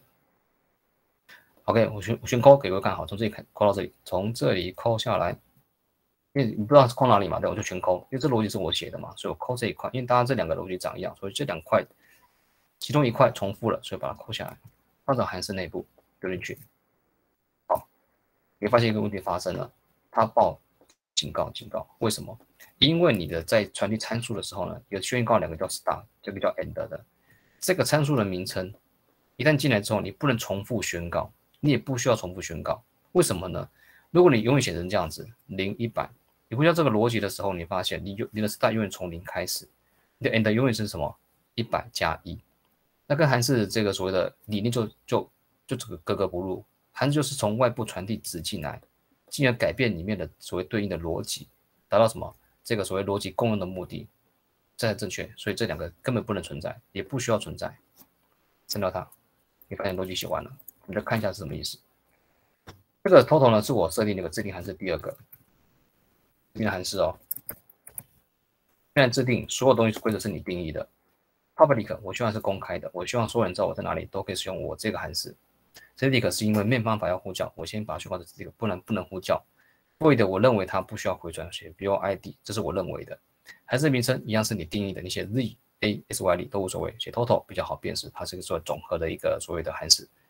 那参数的个数、参数的形态、参数的这个数量，都是你决定的。那总写两个？因为我知道这个函数需要至少传出起始值、终止值，所以我选两个变数，决定外部来传进去这两个值。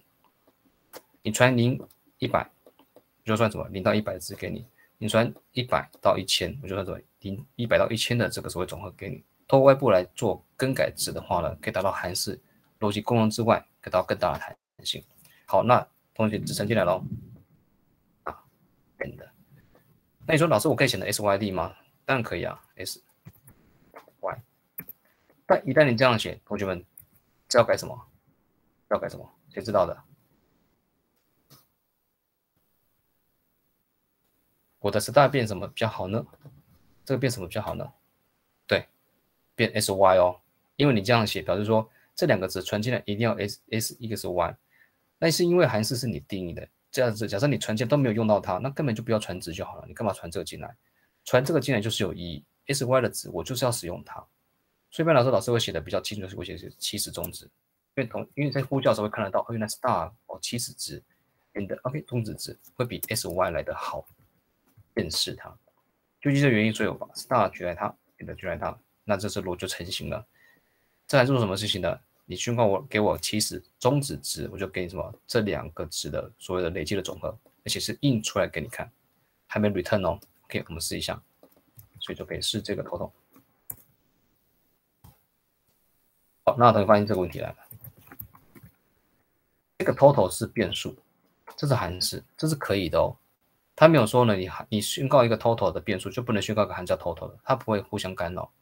哦，变数变变数，函数归函数，两个是不同不同的意义，不会去做这个所谓的呃所谓覆盖或是取代都不会，函数是函数。好，好东西给我开始。这个逻辑很简单，然后那我们就把这取消掉。你看写了两次，对不对？你看哦，可以把它删掉了，我不要这个了，不要这个了。真正码变得很简单，零到一百就这样。到一千，一百到一千，你发现真的差很多很多。原本你写的两个很奇怪的这个逻辑呢，不要说奇怪，就是重复逻辑在上面去。现在透过两行程式码就做完了，结果是一模一样的，结果是一模一样。这是函式的一个威力，你发现这样就程式越来越好玩。你可以把很多的逻辑啊，你觉得很有用的，把它封装起来变成一个函式。那函式喜欢变做有一些 public。所有的人都用得到，你从 Lesson Two、Lesson Three，甚至外部这个 App 都可以取得到，只要你去用引用它这个对应地方就行了。Import 对应地方，Lesson 这个六，OK，我要选的是 CH 六，OK，透过 CH 六，这是这是开始写的一个程式码哦，不要忘记了哈，就可以直接使用它。CH 六是一点有没有？Main 上 follow 要就可以做这个动作。我要算这个一到这个九九等离总和，这样就可以做得到。给 run 它出现了四九五零，你发现这样写法非常棒。就是韩式的威力之外，搭配这个 package 呢，你可以跨任何的这个地方取到对应的这个韩式，进而做这个输出。这是第一点。我这边看得懂吗？为什么这样做？其实这做的意义是什么？可以理解吗？好，那可以理解的话，老师给各位这一个练习题哦，还没做回传哦。如果这个所谓 i 加等于多少？我们知道 i 加 i 加什么？i 加指的是 i 等于 i 加一嘛？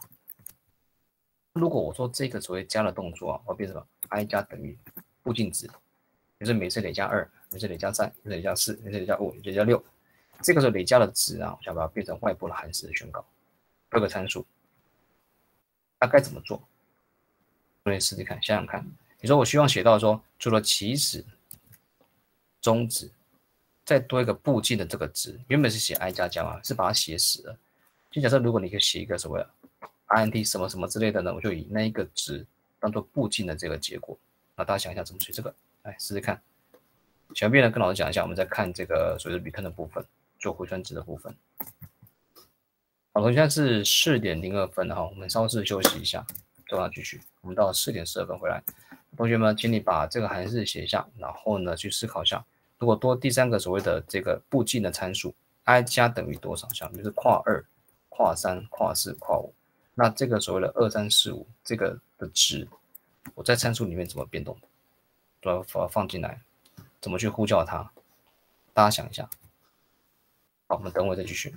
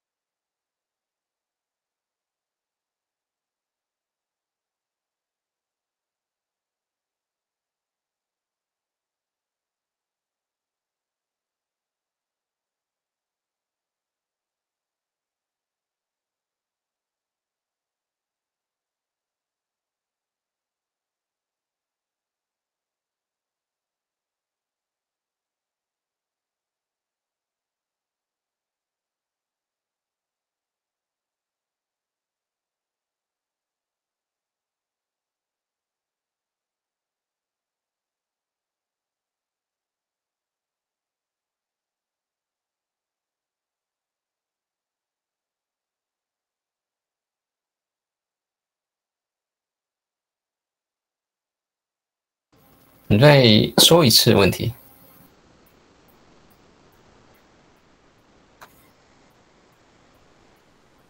哦，这是我们 test，OK，好，没事，来看一看，好，好，那其他同学有写完吗？有没有成功把这个函数给宣告一下？然后也成功了，有的话请打个一。好，OK。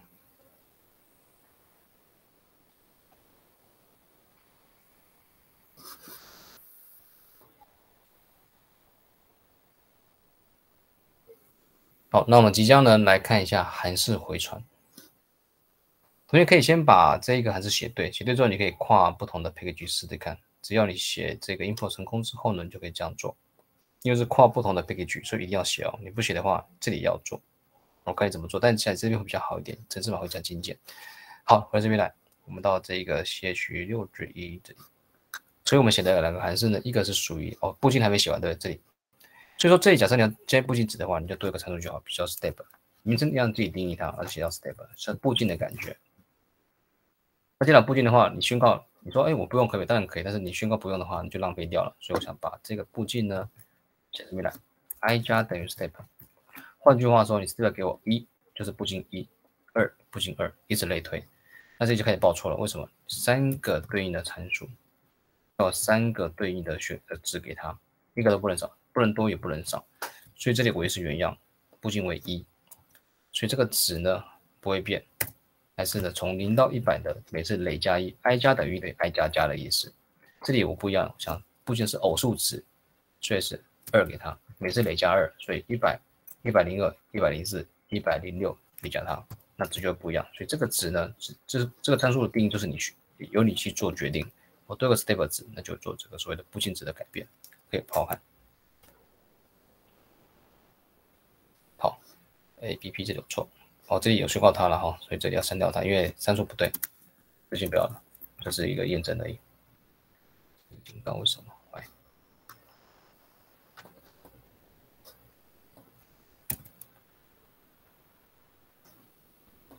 我看一下为什么它警告，哦，这里没用到，OK，那这个一就感觉不太开心，把它删掉一下。好，这样对了，我们好好看这里。有五零五零，从原本的这一个，我记得那时候一百到一一千呢是，呃，比这值还要大的，我记得好像是这个四九五五零，现在变成偶数了，但是是除以二的意思了哈。那这里输出的方式呢，你可以修正它，比如说，我知道说，比如说这一个改成 f，然后呢，什么到什么值值多少，比如说百分比 d 到这个百分比 d 等于百分比 d，就是说呢。从哪里到哪里，周围的总为多少？所以这里可以这样写：是到偏低。要输出的话更加明显，说就不会说五零五零是什么？是零到一百的还是零到一千的？不清楚，多写这个就更更清楚一点啊。F 乱看。好，那少了这一个换行了哈，带个换行符号，因为这里这个连在一起了，主要是把它换行一下。好了。哦，零到一百等于五零五零，一百到一千等于二四八零。那是因为少写了这 step 值，所以大家可以发挥一下，把 step 移进来这里，那就可以出现，呃，谁到哪里到哪里，每次步进多少的值呢？等于多少？可以补齐这个值。我从这边看得懂吗？这个多一个参数的写法，step 可以理解吗？同学们可以理解这个 step 的增加吗？没有，就是刚刚我们的那个题目嘛，对不对？但你说你这个偷了写到什么程度，看你自己，没有说一定要这样做，只是说对我们来讲，如果多个这个值，我觉得还不错，可以去更改它的步进的结果，那这个函数的可用途的地方就更多了，会更多。好，那我们看回传值，你发现这个 total 很好用，但是呢，有一个很大的缺点，值啊，total 说完毕之后，比如今天假设这个 total，比如说我今天题目说呢，请你计算呢零到一百，每次步进一，OK。都改一好了，不改一。然后呢，再请你计算一下，一百到一千每次步进两个值相加的结果是多少？要去做这个输出，总和为多少？要输出哦，这两个值，比如说零到一百刚设置的是这个所谓的五零五零，那这个零一一百到一千呢，把这改成二为值，这个原因哈，是来自于二四八零五零。那五零五零加二四八零五零等于多少？请你把它算出来。那你说，那我哎奇怪，感觉还很简单，但是你发现哦，你的函式哦没有任何的回传，你只有列印出来，由这个 total 啊，只在这个区还是区域内部用完就不见了。这 total 你是取不到的，你不能说 OK，我 total 我这里取一下它的 total，然后把它做加总，不行。唯一的方法就是把值呢传出去，透过旅程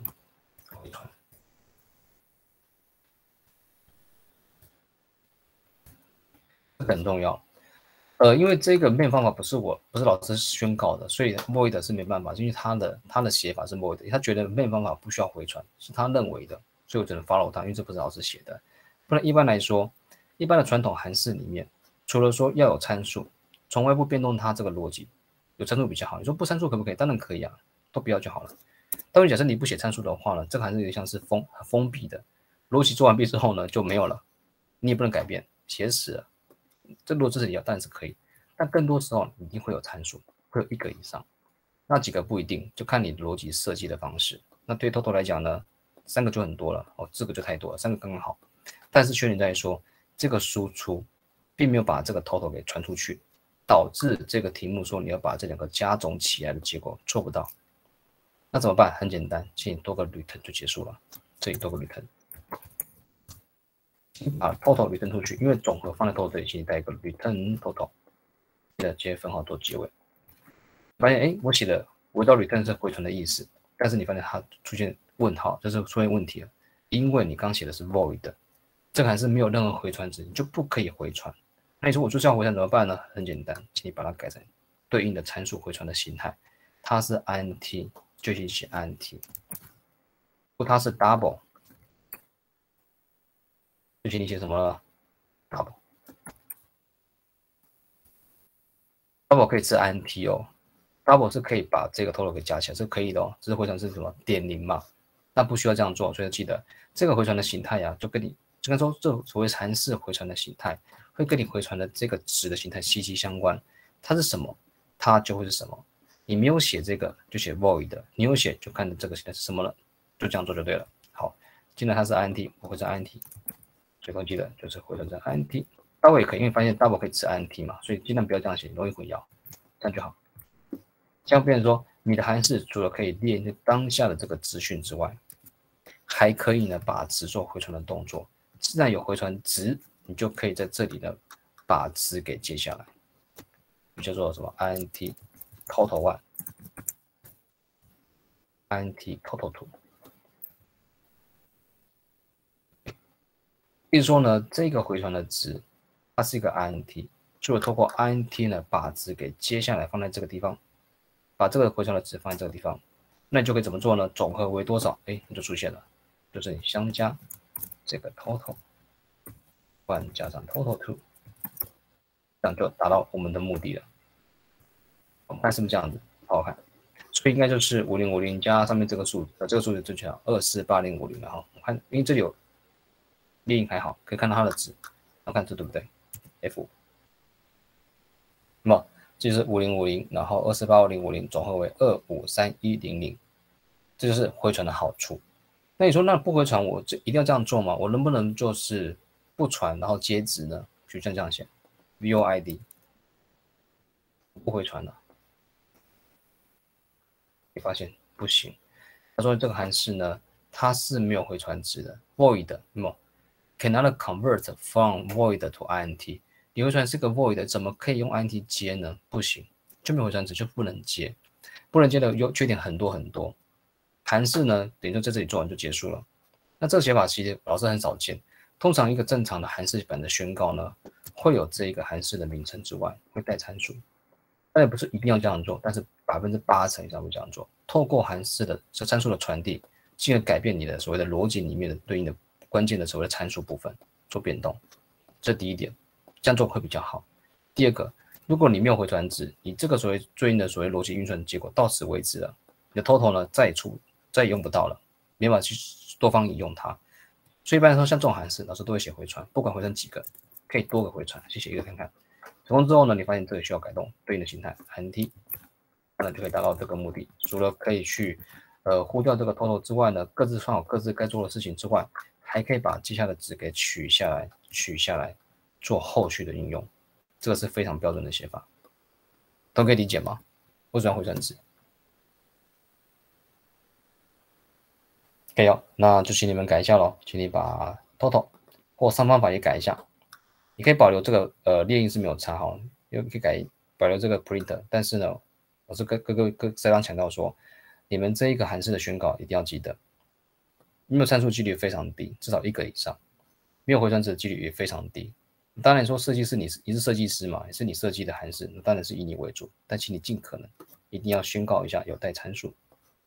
有带这一个所谓回传值，这才是标准的函式宣告的方法。那这张做对的同学记得这里要改哦，同学忘记改这里。这个所谓的回传的形态呀，跟你这个回传的值现在要要一致，不能不一样。你可以比它大，不可以比它小。一般来说不会写写困扰，说我写回传 int 写个 double，意义不大。写 double 的话，变成你自己接的话会变 double 接，double 接那就没有意义了，因为。int 比较小，，double 比较大，你不用不可用大的去做回传的话，其实浪费空间，没有这个意义在。好，来同学们试试看，把这改一改，这是有回传值的部分。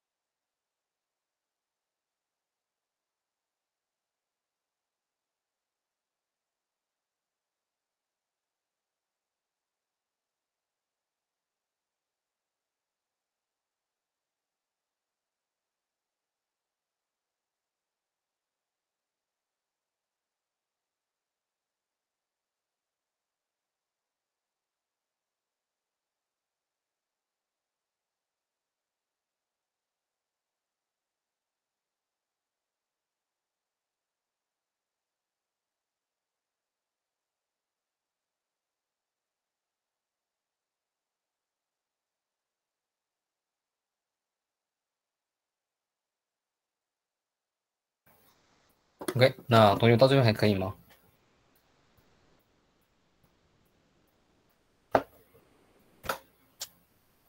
？Ok 那其他同学呢？有没有什么地方卡住啊或者是有比较大的问题？Ok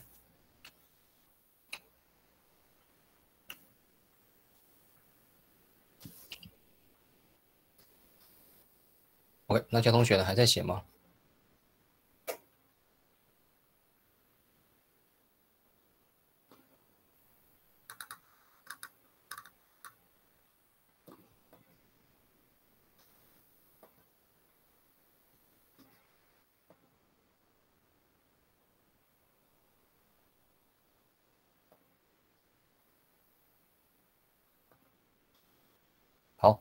那我们来跑动一下这个哈，再看一下。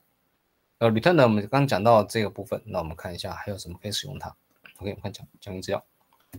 好，那这里哈，所以呢，记得如果你没有把 public 给打出来了，就是 package，package 不用特别写哦，把这个 public 拿掉，就确实拿掉之后就是属于 package 的休息值，只有该个同个 package 可以使用，其他不行。哦，这是一个封装的概念。好，呼叫方法呢很简单，就是请你使用它，呼叫它。那因为对我们这个函数来讲，我们在 main 方法里面使用它，所以没办法直接用 static，因为这是在 static 里面去呼叫另外一个方法的时候，只能透过 static 做修饰，因为它是类别唯一的概念，所以 follow 它才能做这个对应的这个呼叫。那是因为它是 main 方法，那后续我们在做这个类别设计的时候呢，就不需要它了，会有另外一个定义方式，会把重新定义过一次，我同学可以放心。那重复逻辑呢，就请你把它做这个函数，我是刚演示过，这是属于在做那个总运算的 total 一模一样。OK，我们要继续看。我说你可以这样做，只是函数名称不一样而已，那些里面逻辑一模一样。OK，继续往下。所以我们说呢，今天假设你要去把一个函数写好的话，这是一个正常版本，就是你要宣告基本上不要 void 了哈，void 是不得已的，就是函数很封闭，这个所谓的值呢，在函数内部做完毕之后就整个释放掉了，顶多是列印出来给你看。你不列的话更惨，什么都没有，因为你没有传出来嘛，所以你做什么没有人会知道。那其实对孩子来说，这个定义就不太正确了。它就是呢，尽可能让很多人共用呢，然后取到正确的回传值，再做下一步动作是比较合理的宣告方法。所以因为这原因呢，所以我们把 void 改成你要对回传的形态，不是说一定要回传 int，看你最终回传什么。假设你回传正列，就请你 int，别忘记哦，这里是 int 什么中括号。如果是一个一维的话，一个一维的。所谓的整数正整数的正列，这样做就对了。好，以此类推，我们往下看。OK，使用 return 指令，所以我们说把原本的这个输出呢，其实可以留着的，不一定要删掉它。一般来说，输出会跟 return 会留一个，但是两个都留着也没有差。所以你可以先输入这个所谓的资讯，再输入这个值是可以的。好，不一定要把它删掉，这时候可以试试看。好，回传总和。OK，那你就可以呢，好处在说你就可以用这样方式来做所谓值的接收、接收。但你说这两个只能，用那么一次而已，你可以把这两个呼叫呢连在一起，也可以，如同这种概念，我们看一下这写法。如果像这个，这个 total one total two 啊，对我们来讲，基本上用过一次丢掉，对不对？那你其实你可以省略这个写法，就像这样的感觉，把这个拉过来写这里，把这个拉过来写在这里，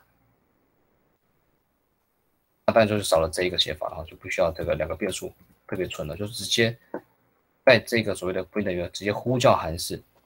回传值，因为它一定会回传，因为你写 return，它就是会回传，然后怎么加另外一个值做输出，等同这个感觉很像，就是把它原本是拆开来的合并在一起，那其实感输出的东西是一模一样的，好好看，一样不会变，好一样不会变，所以假设你想这样写也可以，我是把它放呃写回去哈，这样感觉比较干净一点点，哦，不用太简洁到一个程度，有点难以阅读，这样比较好，只说也是说可以这样做了哈，可以这样做。可以直接呼叫呢，直接做加的动作。或者可以加呢，就因为你的函数有回传值，你没有 return 的话，基本上就无解了哦。请中记得哦，没有回传的话，你这样做是会错的。哎，我们试试看，就假设我们这个上方法老师没有把它做回传值是 void 的。那如果按照这个条件来看呢，我可以这样做吗？out，然后呢，呼叫 get 呃上，这是 void 的，别忘记了十二十。一个的时候，你发现回到 L，哎，报错了，报什么？他说你印出这个 line 啊，evoke line 的布林是 b p p，哎，他说你的这一个回传是一个布林，我根本没回传任何值，他会发现没有回传的是 void 的，所以他不给过。那怎么办呢？没办法，你得把它改成，比如 int，要把这个旅吞出去，才会过关。一说没有回传值的东西。回传值的函数啊，你就是不可以列印，因为是空的东西，它不可以列。因为我们这个 Java 是很严格的，它会先编译再做执行嘛。它觉得你语法不正确，它是不给你做执行动作，因为你没有回传值，你就是不可以去做输出的动作。原本是做什么输出，没有回传，所以把它改成这样子才可以哦。可以了解这意思吗？没有回传值是不可以做输出的，可以理解吗？OK，好，那我们继续往下。那 return 的使用时机很多，return 只用在函式内部哦，就像我们的 break 一样，break continue 只用在什么回圈，这两个这两个关键的指令。或者老师就有话术了哈。好，来一下，continue break 只用在什么回圈啊，for 啊，while 啊，读 while 可以。就但是 return 一样，它只能使用在函式里面，放在里面。这时写这样的方式其实有点笼统，应该说用在函式就可以了，不一定要回传。return 可以不回传任何东西，但是使用的地方呢，你不能跟乱写。return 只能写在函式内部做回传，它是有定义到的。OK，那 return 呢，不止可以 return 一个值。return 可以在这个函数内部多个 return，我们试试看这个写法，在这个地方其实有点 bug 在，有时候就这样写哦，把这里写一下，OK，这个一百零一，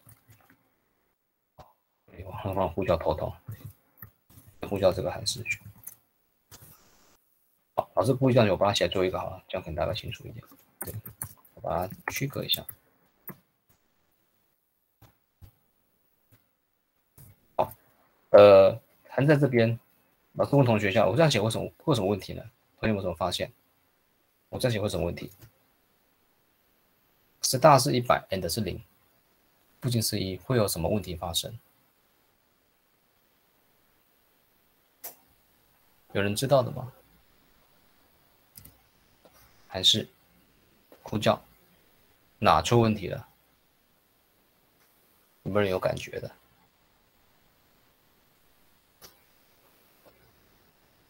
嗯为什么不会动？哦，对对对对，嗯，应该是不会至于无穷啊，应该是不会动，因为你的这个值啊，有没有？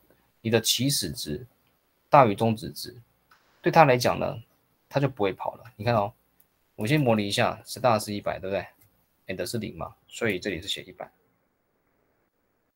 ，i 小于零才跑动哦。按你这个一百怎么可能会小于零？不可能啊，一百永远大于零啊。而且是 i 加加，永远没有机会去做什么步进这个零角域的动作，所以它不会进来这里，不会，因为一百会没加下去变一百零一、一百零零三，所以这我觉得是不会动的，所以回去不动是正确的。好好看这里哦，试试看看发现什么字，好好看，对吧？一百到零是零，为什么？哎，你就没有跑动啊，所以 total 还是零，所以输出这个所谓一百零到零是零呢，因为是回线没有跑动。那就不会有这个累加的效果，所以维持是零的状态，同学理解吗？这个所谓呼叫参数给错顺序的问题，可以了解吗？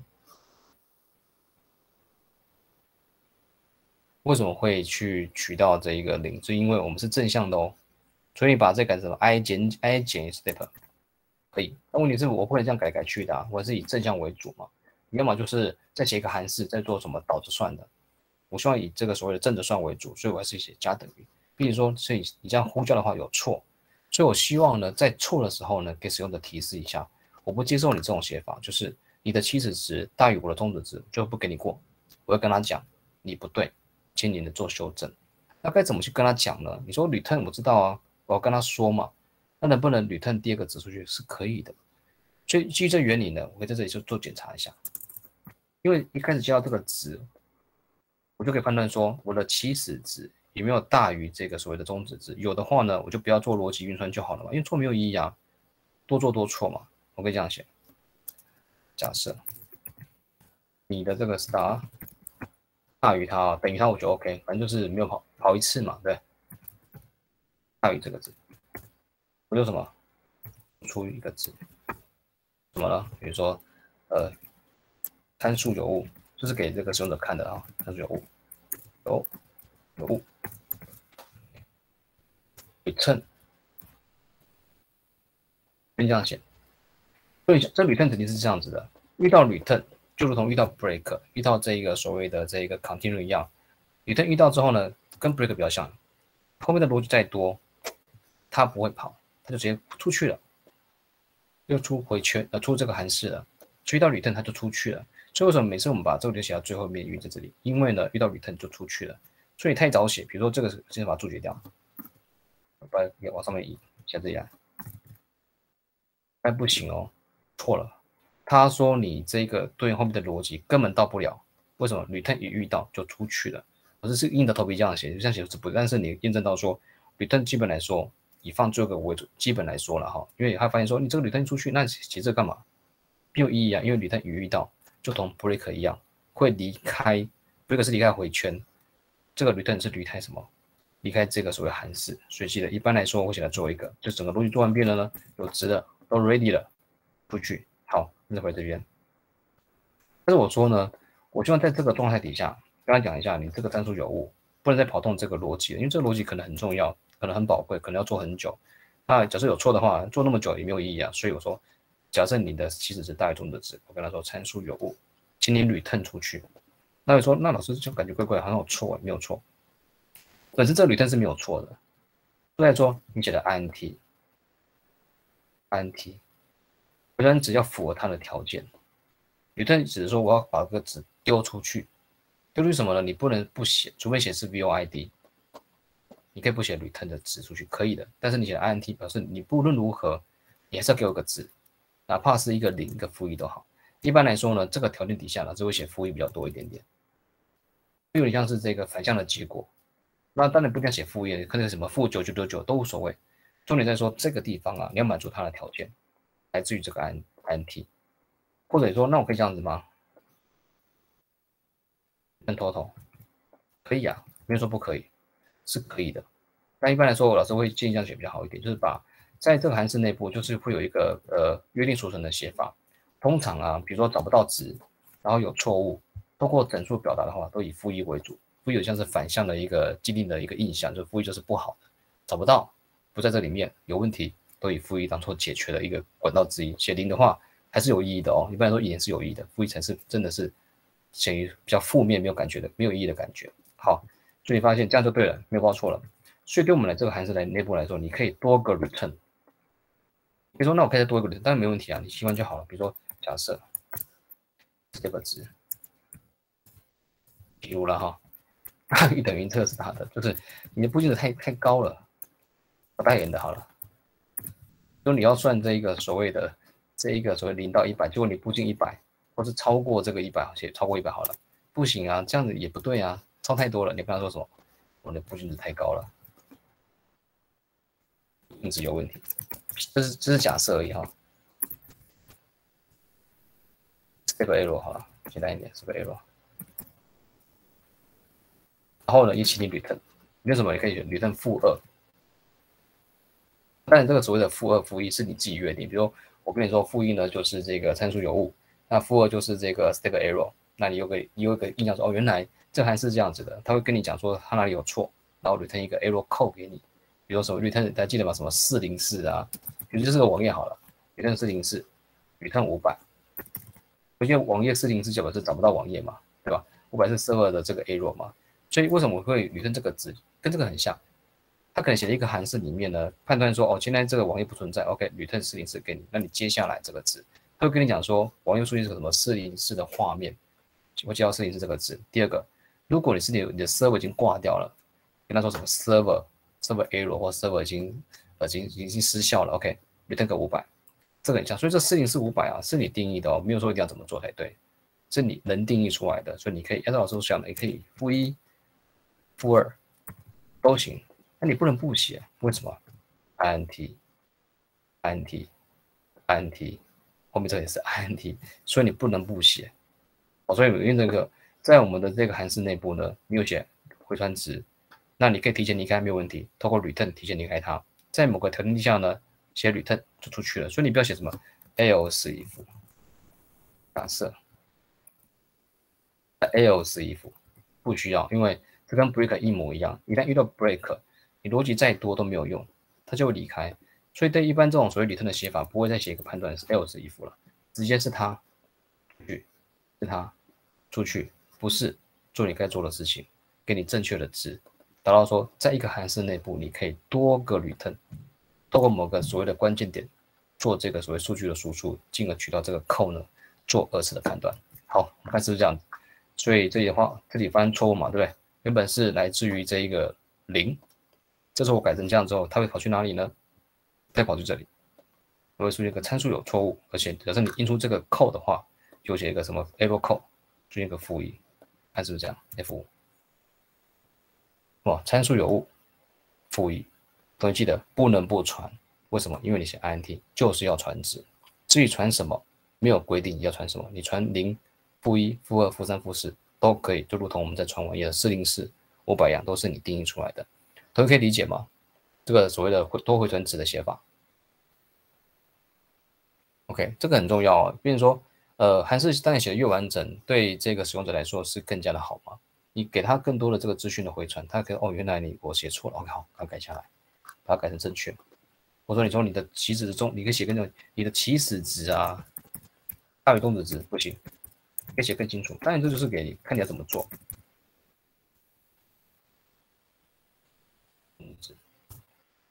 不行，OK，那叫什么不禁止错误？OK，都可以按照这方式去做这个动作检查。所以我们约定好说，在这一个函数内部呢，希望你写出 return 来，无论如何尽量这样做，不要把它封闭起来。第二个，在某些固定的条件底下，它就是不可以去跑下面的逻辑，因为多跑多错。既然这里就不对了，就不能可以大于它。你就不需要跑动这个逻辑，因为会输出一个错误资讯，要跟他讲正确的资讯是什么，这样最好。所以可以透过 return 这个关键字呢，去把这个错误的 error code 出去之外，再把输出一个正错误的资讯给他，让他知道。这也是，所以在一个函数里面可以多个 return。那 return 的值，请你 follow 这一个回传的形态就可以了。来，同学们试试看，请你把这写一下，这属于呃函数内部可以做到的事情。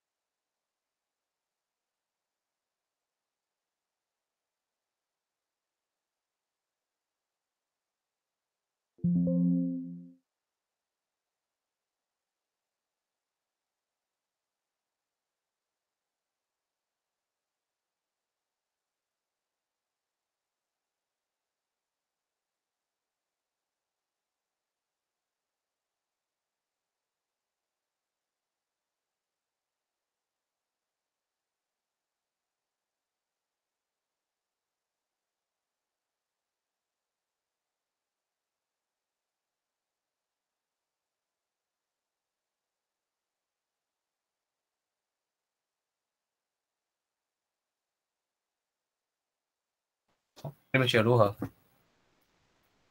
有成功吗？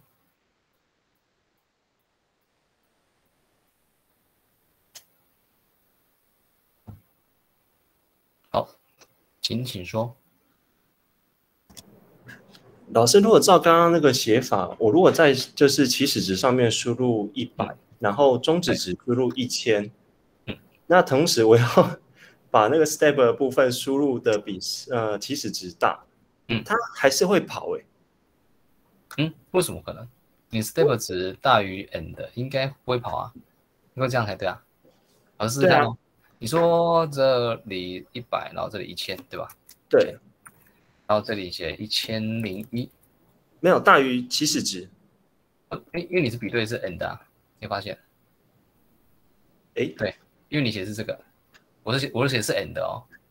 哦，好，没有，附近值大于 end，所以你你是这个意思，这样。嗯，对我我老是觉得说带 and 比较合理，所以应该说我比对 A 落口是以这个为主。哦对，，这要同学说没错了哈，就是你你可能认为说大于 start 就不要了，但是觉得说大于 end 比较合理，所以看你怎么写它。哦好，那我再改看看。看一看，Thank you。不会。那同学老师讲这个东西哈，就是呢，你发现老师刚写的一个韩式的这个说明呢，可以这样做，再把它删掉一下。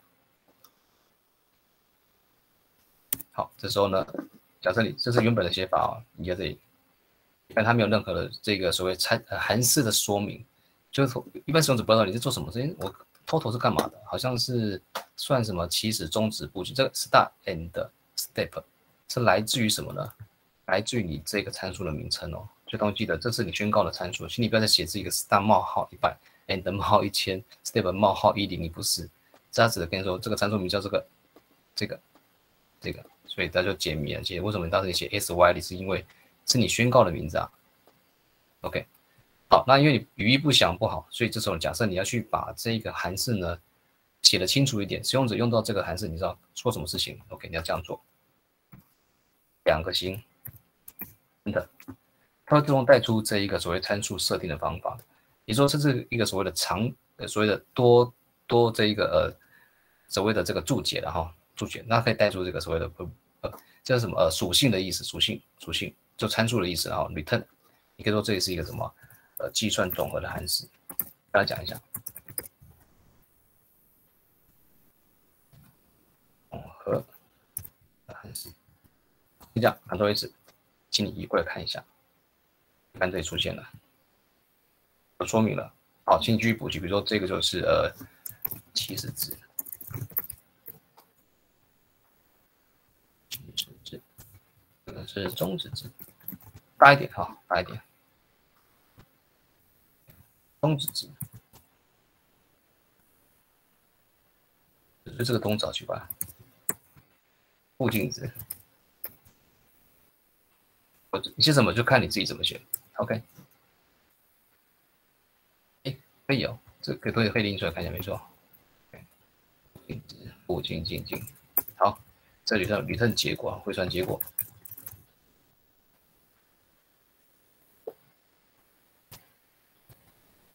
我结果呢小于等于，我帮你再去看看，感觉也是小于也是会比较不一样。哎，这不会好，小于等于负一，表示 error，小于等于负一。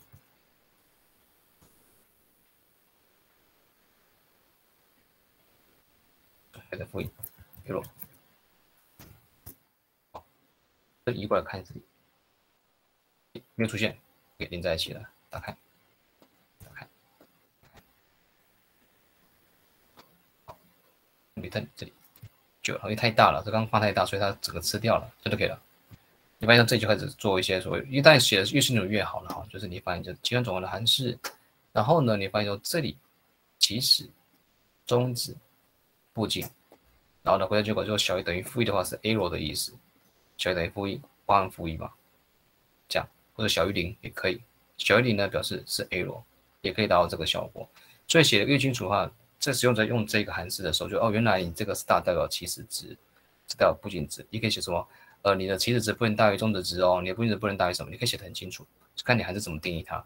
所以你就要用这一个方式呢，一个两个女字号按下去，它就带出这一个函数的这个呃所谓的参数跟回传的这个设定。OK，哎，同学可以理解吗？这一个如果你要写清楚这个函数的话，你可以这样做，对吗？OK，同学试试看哦。那因为接近下课时间了哈，老师就不再我再去讲，大家消化一下。明天呢，我们把这个函数部分呢，再把它给做完，因为发现函数真的很有很有用，函数是我们这个在做这个物件导向的一个基础。你没有函数的话，你发现很多东西你写不好，所以你发现这么多的东西啊，原本是写在你这个所谓的面方法里面的，面方法已经够累了，它有什么要做很多东西要做，要输入啊，还要输出啊，还要做什么逻辑运算啊，还要做什么判断式啊。所以尽可能把一些必要的逻辑呢封装起来，把它封起来。好处在说你的面方法可以单纯一点点。如果还是有错，比如说今天假设你真的写错了，改它这里就好了。你就比如说这个程式呢，可能在外部一直很多重复，copy copy copy 这么多行，出了一个就开始改，开始改，因为逻辑是一样的嘛，所以一个一个错表示下个也跟着错，要不停的修正它。所以把它变得函数化的话，第一个封装起来，大家可以共用，这第一个优点。第二个优点是，假设有错，你这三行的错，不会第四行了，不是他，就是他啊，就是他，很好找出问题点。放在这里，你可能有用了三次，三次乘以三等于九行，九行都要看一下到底是谁的错。那找出问题之后，呃，改那一个，改那一个，改那一个，又错，再改，再改。你发现其实改来改去，你越改越乱。这时候你把它封装成函数，把问题呢局限在这个区块里面。就可以针对问题做解决，所以后续我们在写程式，大部分只要是必要的，都会把它变函数化。做我们什么？做一个资讯的这个所谓的呃逻辑的封装之外呢，也可以把这个问题的局限在这个范围里面做修正，如同这个概念一样。写这个写完毕，你就之后你要做任何的这个所谓做累计运算的话，只要去优化里面的程式就好了。比如说我要做更多的这个判断式啊，能不能倒着数啊，能不能正着数啊，可以通过参数的改变，进而说我要倒着数各位？当然可以。改变参数就好，你带个布林变数，有 reverse，日本的意思，我要去反转这一个算的结果。透过这个 reverse，你可以去说 true 的时候呢，就反着算，啊，然后 false 的就往正的算。透过变数的改变，传进来的值不一样，你就可以去更改这个逻辑。所以整个逻辑会在这里面呢做什么？做修正，而不会在外部做修正，方便你做什么事情？方便你做这个呃问题的查找，进而把这个功能扩充的更加的强大。给大家更多的使用，那自己会错是因为老师多一个参数了哈，这边少一个就不行。所以像这样讲，比如说我 OK，我要做反转，true，做反转就给 false 就可以了，以此类推，这是韩式的一个很大的要素了哈。好，老师把这个删掉。OK，好，那同学们呢，请你们先自由练习一下。那时间到了，大家就开始准备去进退。那剩下的部分呢，我们明天继续。还有三分钟，同学们有什么问题？哦，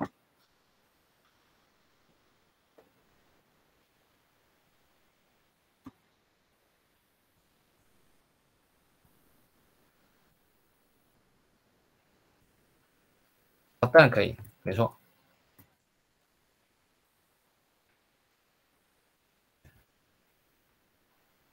哦，因为你是编译。你因为你是变异式的语言，你问了个好问题，像那个拍场的话，它直译式的，一定要先宣告才能使用，就是你要写在上面才行，啊，也可以过。那因为我们是编译式的，变说呢，他会去找说你用了这个上，OK，只要里面有宣告到就可以。就当你说那我可不可以写在上面？当然可以啊，没有问题。只是一般来说不会这样做了，因因为是进入点嘛，所以我一般来说还是会往上宣告。所以因为编译式的语言呢，它它就不需要不需要按照顺序去宣告函式，但直译式的，比如拍上，它需要什么先宣告才能使用，这是编译式语言跟直译式语言的最一个蛮大的差别。呀，会。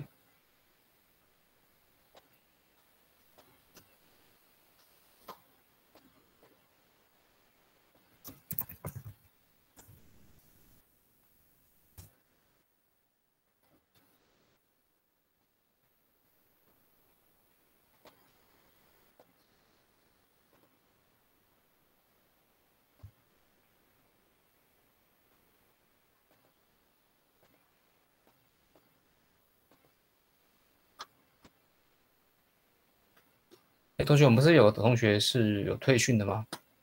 有谁知道哪个同学退训了？二十号退训，好，老师把删掉喽，确定哈，删掉他了。OK，哎，林同学可以，没问题。好，老师要看一下同学们写的作业的状况了哈。有没有同学先自首的？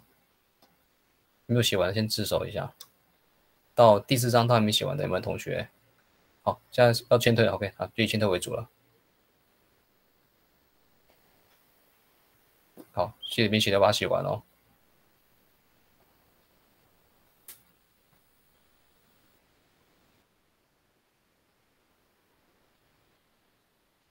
没关系，到时候你我再看一下城市码，一定要确定说每一个城市都要那个哦，都要排除掉哦，不要像很多满江红哦。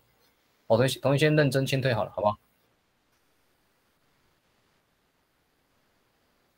？OK，错误学还好啦，至少有解嘛，至少有写。你再慢慢看一行一行，因为老师城市码都有开放到这个 GitHub 去，你可以看一下。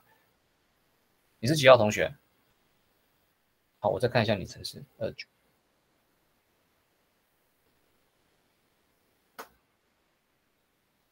呃，周末可以，不要太太迟哦，好不好？周末那我们就。约定说呢，这一周的作业呢，尽可能在当周完成。我就是下个礼拜，就是四周的礼拜一，老师要看到同学们做完，好不好？最起码两天时间可以做。好，同学继续签退。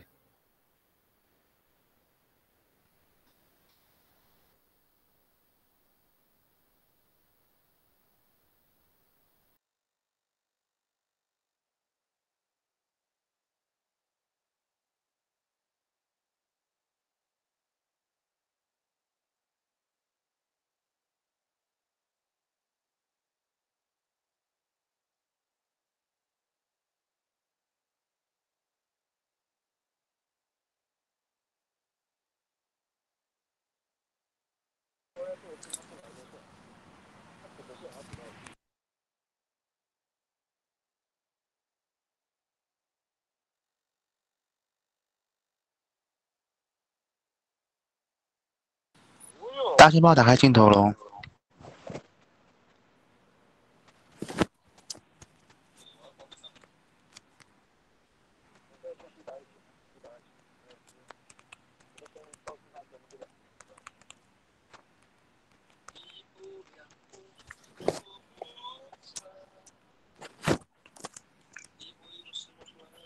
四七同学有开镜头吗？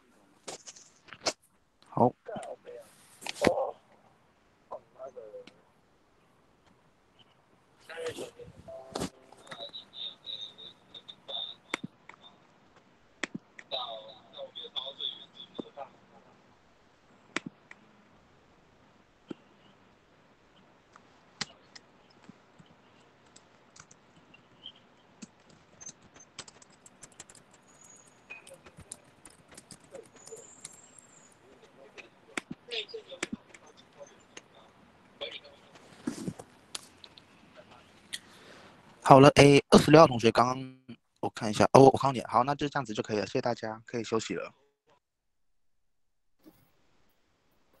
OK，好，那同学们就明天见。那三十号同学，你可以说你的问题。老师你好，哎，你说。呃，我想请问一下，就是我们在执行那个每一支城市，对，那是不是有方法？就是说可能要写城市嘛，或者是 compiler 有这个功能，可以去计算我这支程式执行完毕总共花了多久的时间？哎，可以啊，有这种有有这个时间函数啊。呃，有这个功能就对。对，会十号同学呢，我们会练习题，老师会找时间，我们整个跑过一次，好不好？因为我们现在在课程当中呢，会会以课程课堂，因为同学有人没写完了哈，所以老师没有去做讲解，可能在安排在函式结束吧。好，还是大个段落，我们就把整个一到五章呢，整个把它讲完，刚好做个复习，OK 吗？好，那三号同学还有问题吗？OK，呃，我还有另外一个问题，就是现在目前业界常用的那个开发环境，对，或者是开发工具是呃什么样子的？那 就是这个样子。下一次上课，呃，跟同学们介绍一下嘛。就这个啊，VS Code 啊，呃，就这个。对，因为你说类似像那个 Delphi 啊，还是 VB？哦，同学，同学，你的年纪有有点年纪哦，Delphi。现在讲出来 “Delphi” 这几个字，嗯，对啊，对，因为其实工具啊都是工具嘛，那用什么工具都可以。那只是说，呃，如果老师要选择的话，像像这个 Java 有这个 Eclipse，有这个 IntelliJ IDEA，很多很多 IBM 的也有什么，我觉得 IT IBM 有个叫开发 Java 的，很多人 NetBeans，太多太多了。那只是说，按照目前现代化的城市的开发来说，VS Code 呢是目前我都觉得最强大的的开发环境。通过插插件的外挂啊，透过这个所谓，通过这个所谓插件的安装啊，赋予这个编辑器更多可能性。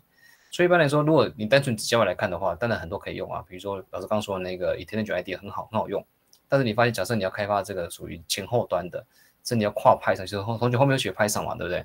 所以你写 VS Code 好处在说，到时候你要跨 V 派上的话，你不用改开发工具了，VS Code 可以做得到，只要你装好这个派上的插件。就开可以开发派上的程式嘛，所以你的电脑就不需要每次我要开发派上，OK，开派上的程式码写一写，关起来。你开发 Java，开 Java 城市码写写，关起来。那当然是无可厚非，因为两个城市语言都是独立的前端城市语言。如果你发现说，假设你要去做整个前后端的概念，我要我要写前端，要写后端，每次都开不同的城市这个做开发的话，所谓的整合很麻烦。那 VS Code 给你可以做整个的方式很简单，你外挂成功之后，整个城市码。